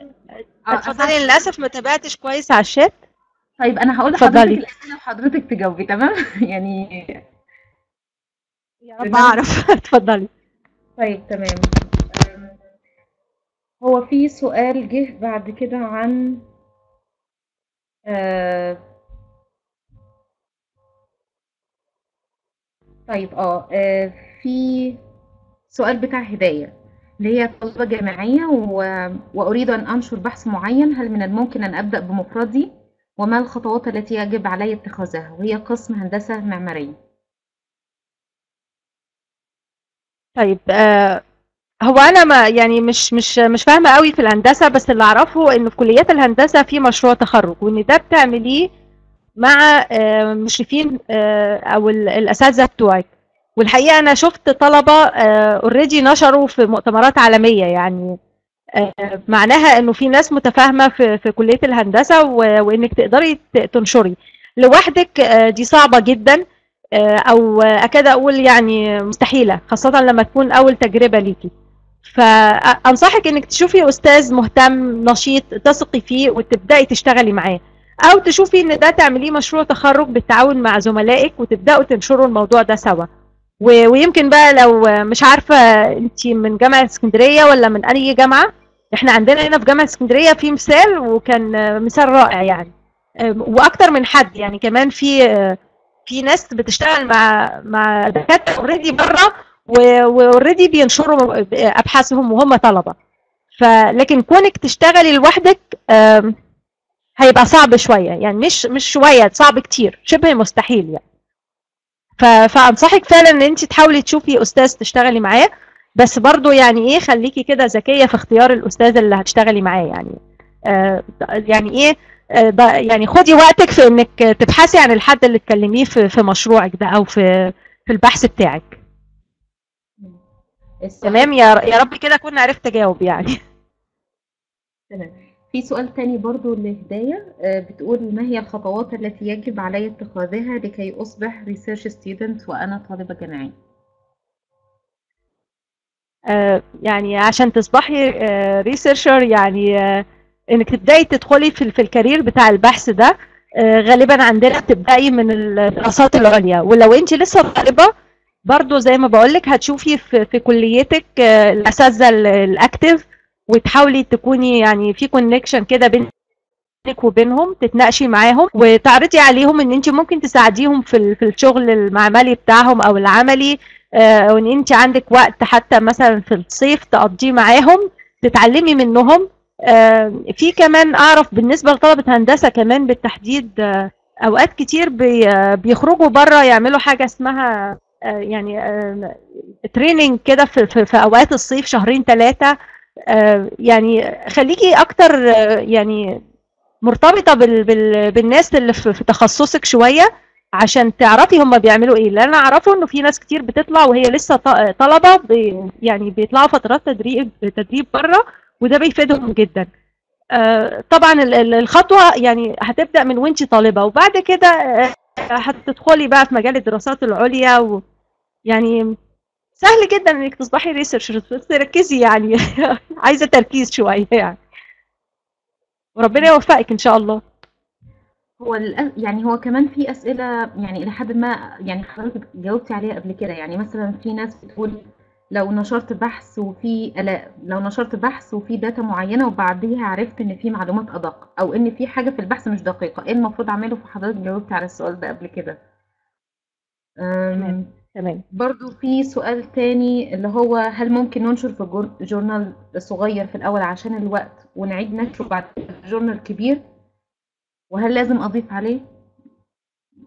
لو نفس البحث نشرتيه في جورنال صغير ما ينفعش تقولي لي أنشره في جورنال تاني يعني. برضو ده آه، حاجة غير أخلاقية. أضيف عليه آه، لا الجزء اللي اتنشر ما أضيفش عليه لكن هضيف بقى بعديه خطوة تانية كبحث آخر مبني على البحث ده طبعا ممكن. حكاية تنشري في في في, في journal مش قد كده عشان الوقت برضو زي ما قلت دي ترجع يعني تدرسي إيه الأهم بالنسبة لك؟ ودي بتبقى يعني هتختلف برضو من حالة لحالة زي ما قلت. أنا الأهم بالنسبة لي ال CV بتاعتي وال career بتاعي أبدأه يعني وأنا ح- حد strong كده وال CV بتاعتي strong ولا الأهم حاليا إن أنا أخلص عشان أقدر أحصل على فرصة أحسن أو أحصل على آه، يعني يعني منحة أو الكلام ده كله؟ ده كله يتوقف برضو على الحالة بتاعتك. انت بقالك قد إيه في الماجستير مثلا؟ هل لسه قدامك وقت طويل ولا ولا انت عايزة تخلصي بسرعة as soon as possible ولا يعني برضو دي هتتوقف على الحالة زي ما قلت قبل كده؟ آه، في سؤال تمام. آه، بتقول هل. في فلاتر أقدر أمرر عليها بالبحث بتاعي قبل النشر بحيث أتأكد من إنه خالي من مخالفات البحث العلمي آه، مخالفات ال- الأخلاقيات مش مش مش هتمر كلها لكن آه، المخالفات الخاصة بال بال copy paste وبال وبال يعني بال بالكتابة ممكن جزء منها بيشوفوا مثلا حاجة زي ال paper rate الحاجات دي هتعرفيها إن شاء الله في المحاضرة الثامنه أو آه الثامنه تقريبا محاضرة اسمها tools هت هتعلمك حاجات كتيره عن عن الأمور دي. في البداية لو أنا فعلا اتبعت إن أنا ما باخدش حاجة copy و paste مش ببقى قلقان. يعني خلاص طالما أنا أنا من الأول أنا باخد ال paper وبقراها وبكتب بأسلوبي مفيش copy paste كل حاجة مستخدمها حاطط ال reference بتاعها. آه، مش المفروض إن أنا أقلق. ومع ذلك زي ما قلت لك في في tools هتساعدك. في tools online ممكن أحط لك الرابط إن شاء الله.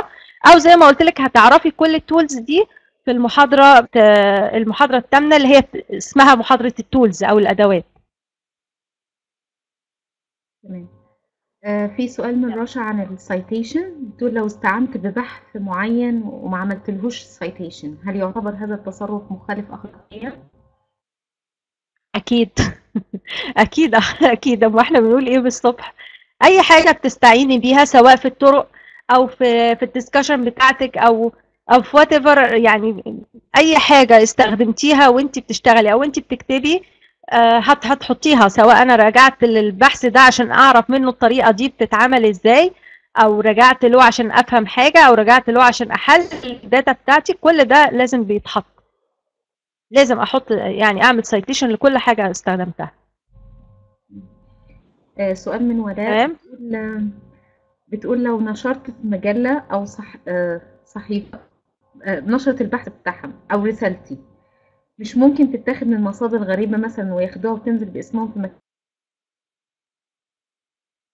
هل لو مشرفي ما سمعتش معلش مش ممكن إيه؟ مش ممكن آه، تتاخد من مصادر غريبة ويا- وتنزل باسمهم. يعني حد يعيد نشر المعلومات اللي هي اوريدي نشرتها آه، ولا هي كده خلاص حمت البحث بتاعها بمجرد إن هو ده اللي هيبقى بقى عمل مخالفة أخلاقية. بالظبط. انت بمجرد انك نشرتي انت كده صاحبة الحق في اللي نشرتيه. يكون حد بقى يعمل له copy و paste هو بعد كده هو اللي عامل المخالفة الأخلاقية والجريمة عنده يعني جريمة. وأنا بعتبرها جريمة يعني. بس انت ما عليك أي مسؤولية في الحالة دي. دي مش مش مش مسؤوليتك. دي مسؤولية اللي عمل copy و paste اللي اخد شغلك و... و... وعمل له copy يعني. مش مش مش مسؤوليتك انت النشر ضمن لك حقك خلاص في ال- في القصة يعني. وبتسأل هل لو في نشر في مجلة هل ينفع إني أنشرها في مكان تاني ولا لأ؟ أعتقد هي بتتكلم برضه لأ طبعا. آه لأ ما ينفعش. هو خلاص ال- الشغل نفسه ما دام اتنشر في مكان انتهى. يعني لو في خلاف بينك وبين مشرفك عايز أنشر في المجلة دي وهو عايز ينشر في مجلة تانية يا تصفي الخلاف يا هترضخي بقى لرأي ال- المشرف زي ما قلنا بقى لأنه لأن انت في وضع لا تحسدي عليه لو انت في مصر يعني. لكن آه، نشرها في مكان تاني ده غير ممكن. وبعدين آه، في ناس بتعمل النقطة دي إنه بينشر في journal من اللي هم مش موجودين اونلاين زي ما قلت الج- ال journals اللي في ال- اللي في الجامعات واللي هي بتبقى شبه محلية كده وبعدين يروح يقدم ده في international journal الحقيقة هي عملية غير أخلاقية ولو عدت مرة مش هتعدي بعد كده. يعني يعني خ... يعني أنت بتبني كارير وبتبني مستقبل فخليك حذر من حاجات ممكن تضيع الدنيا كلها يعني. تمام يا آية في أسئلة كمان؟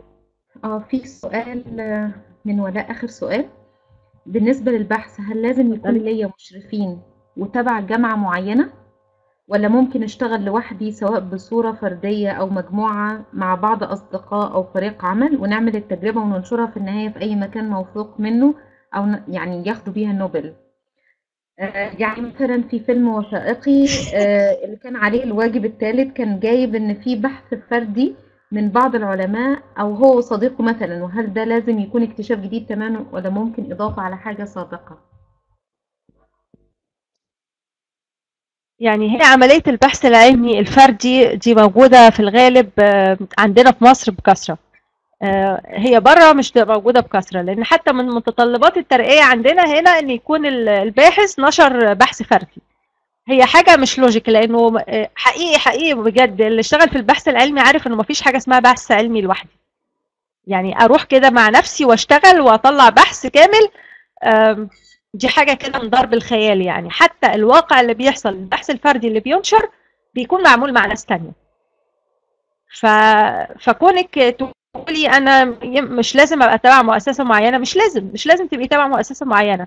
افرض أنا باحثة وعندي زملائي في, في, في مجال تاني أو حتى في نفس المجال أو أو أو لسه في لستودنتس أو وأخدنا بعض وعملنا فكرة ونفذناها بس حضرتك نفذتيها فين؟ الفكرة دي مثلا لو حضرتك في كلية هندسة فين العامل وفين ال- ال- الحاجات اللي نفذتي عليها الفكرة و- وفين وبعدين في الآخر لما تيجي تعملي submission لل paper هتكتبي ال position بتاعك إيه؟ يعني هتكتبي إنك طالبة مثلا في في في كلية كذا. فبرضه ال position بتاعك راجع لإن انت المفروض تكوني عملتي البحث في, كلية كذا. حتى لو انت يعني إيه بشكل ما عملتي البحث في حتة تانية يعني. آه، كونه بقى يوصل لنوبل أو ما يوصلش لنوبل نوبل مش بالاختيار ولا حد بيقدم لها ولا بالواسطة. نوبل لما بحثك بيعمل impact والناس بترشحه أصلا لل للجائزه بي- بيحصل عليها. فيعني hopefully إن شاء الله إن إحنا نشوفك آه، معاكي نوبل قريب يعني. ربنا ييسر.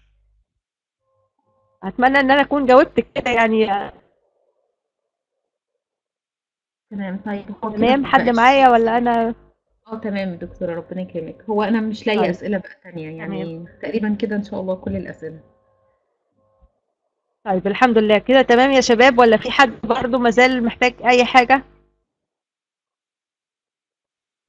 آه، في علي عنده سؤال كتبه على الشات دلوقتي. أنا نص السؤال عندي ونصه مش باين. طيب فقط ما عندناش. تمام. من فضلك يا يا معلش أنا تعبتك. آه، في حد بيطلب الإيميل بتاع حضرتك؟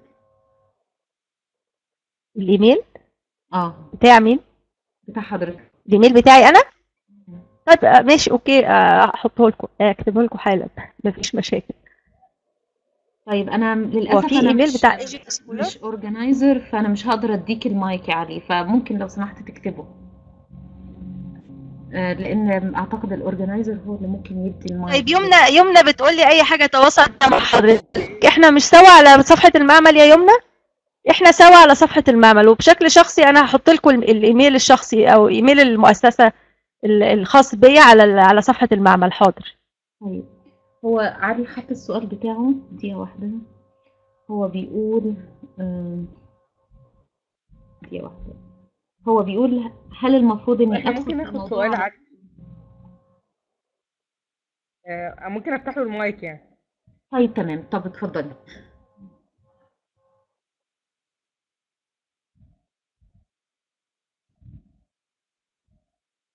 طب علي انت معاك المايك كده؟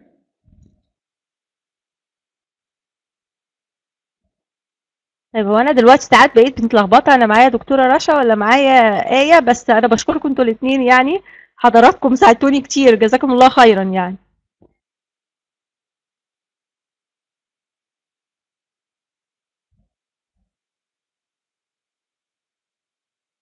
المفروض إن المايك يتفتح عنده بس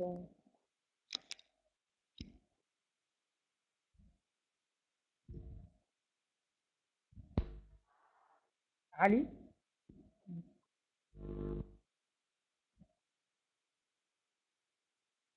لا هو واضح إن في مشكلة يا إما من عنده تقريبا في المايك.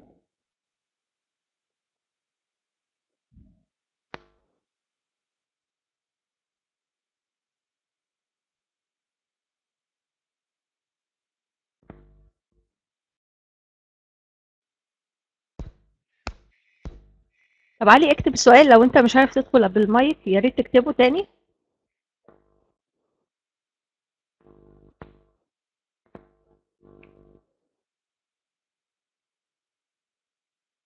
لو سمحت يا علي طب اكتبه تاني معلش. لو إحنا حتى ما جاوبناهوش فممكن يكون فات في الشات وم... أنا أنا شخصيا ما عرفتش أقراه يعني أو ما شفتوش. هو كتب السؤال؟ ممكن أقول لحضرتك. قال أنا بكتب بحث. اتفضلي. حضرتك سامعني okay. أنا بكتب بحث هل المفروض إني آه سامع حضرتك. الموضوع على هو علي بيسأل. آه، هو بيكتب بحث. هل المفروض إنه يدخل في الموضوع على طول؟ ولا أشرح الملامح العامة لموضوع الدراسة؟ علما بأنها ستأخذ عدد صفحات كثيرة. فما الصواب؟ لا طبعا الصواب إن أنت في ال- في الأول في ال introduction بتدي فكرة عامة عن الموضوع. تمام؟ أكمل؟ في حد سامعني؟ أه اتفضلي يا دكتور. آه، المفروض إنه في ال introduction بتاعت ال paper بتدينا فكرة background عن الموضوع.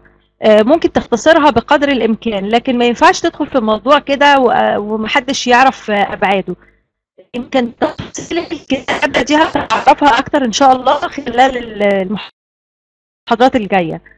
بس أنت لازم يعني القارئ يدخل في الموضوع ياخد background حتى لو كان مش متخصص قوي إنه يعرف حتى يرجع لإيه علشان ياخد معلومات يفهم بيها الموضوع.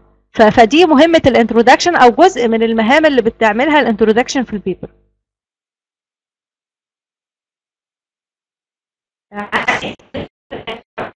جاوبت عليك؟ لو لسه في عندك أي أسئلة؟ خلينا نتناقش على صفحة ال- المعمل ويعني إن شاء الله أبقى معاكم وإن شاء الله نعمل لقاء تاني أونلاين.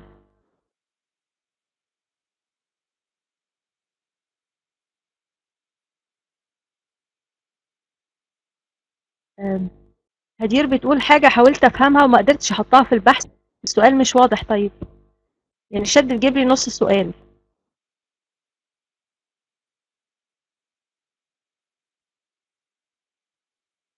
أحط في البحث معلومات مش عارفها أو مش فاهمها؟ لا ما يعني مش مش عارفها أو مش فاهمها هحاول أشوف اسأل حد يفهمها لي أو يعني احاول افهمها ما ينفعش أحط حاجة مش عارفها أو مش فاهمها. إذا كنت أنا مش فاهمها اكتبها إزاي في البحث بتاعي واوصل فكرتي وال... وال... واللي أنا عايزة أقوله لل... للناس اللي هتقرأ البيبر بتاعتي. لازم أحاول آه، أفهم ولو مش قادر أوصل لحاجة هحاول أسأل حد في نفس تخصصي يساعدني فيها.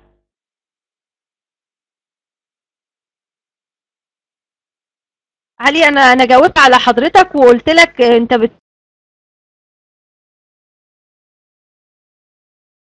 صفحات كتير انت خاص الكتابة في الأول أنت ممكن تلاقيها طويلة قوي وبعد كده بتعمل لها editing وتبدأ تختصر في الكتابة آه، لحد ما توصل لعدد الصفحات المسموح به في النشر. يعني كمان في journals بتحدد لك عدد معين من الصفحات. في سؤال حضرتك سامعني مجلة محلية وبعدين في مجلة دولية أنا أنا ما حبذهوش وشايفة إنه غير أخلاقي. أيوه؟ okay في سؤال في حد بيسأل آه، لو في تيم شغال مع طلبة شغالة مع بعض ومش معاهم آه، دكتور دائم يعني بس هما لما بيحتاجوا حاجة بيروحوا يسألوا آه، دكاترة يعني الموضوع كده هيقدر هيقدروا يكملوا ولا لأ؟ والله لو قدروا يكملوا برافو عليهم بس انت ممكن تكون. مش ماشي. ماشي صح يعني ممكن تكون بتضيع وقت في اتجاه مش مش الصحيح عشان كده زي ما بقول لك دي مهمة ال supervisor أو إن يكون معاك مشرف أو حد عنده experience في مجال البحث العلمي ده اللي أنت بتشتغل فيه. آه والله قدرت توصل لوحدك ولقيت إجابات كاملة عن اللي عندك. آه دي قصة تانية. أنا أنا ما جربتهاش شخصيا بس آه بعتقد إنها يعني هتبقى نادرة الحدوث لأنه حتى حتى الباحث نفسه اللي already بيشتغل في مجال البحث بيبقى محتاج في وقت معين أو ل- ل- لفترة طويلة إن يكون في supervisor ومحتاج يتناقش مع ناس آه، في نفس المجال وناس عندها يعني خبرات في المجال. آه، كونك لسه طالب وزمايلك طلبة وبتعملوا بحث وعايزين تنشروه لوحدكم hopefully إن أنت تقدر يعني. بس زي ما بقول لك ممكن تكون آه، بتضيع آه، وقت طويل في حاجة ممكن توصل أو ما توصلش وممكن تكون ماشي في الاتجاه اللي مش مش صحيح. فهو يفضل لو معاك مشرف أو معاك دكتور أو حد حتى باحث عنده خبرة يعني. وكده إحنا يا شباب تقريبا إحنا غطينا كل الأسئلة. آه، غطينا كل الأسئلة اللي كانت موجودة في البوست اللي موجودة على الصفحة. سألتوها هنا. فإحنا بنشكر دكتور منال يعني أنا أنا أتمنى إن أنا أكون غطيت الأسئلة فعلا. وبرضه إحنا بينا يعني الحوار مفتوح على صفحة ال- المعمل. وأي أسئلة عندكم ما تترددوش إن أنتوا تبعتوها. إن شاء الله تتجاوب يعني. حتى لو يعني لو أنا مش هقدر أجاوب في في مجموعة كبيرة دكتورة رشا ربنا يكرمها دكتور أحمد ودكتور محمد وكل ال- ال- المجموعة في المعمل ممكن يساعدونا فيها إن شاء الله. شكرا شكرا يا شباب. السلام عليكم. وعليكم السلام. السلام عليكم.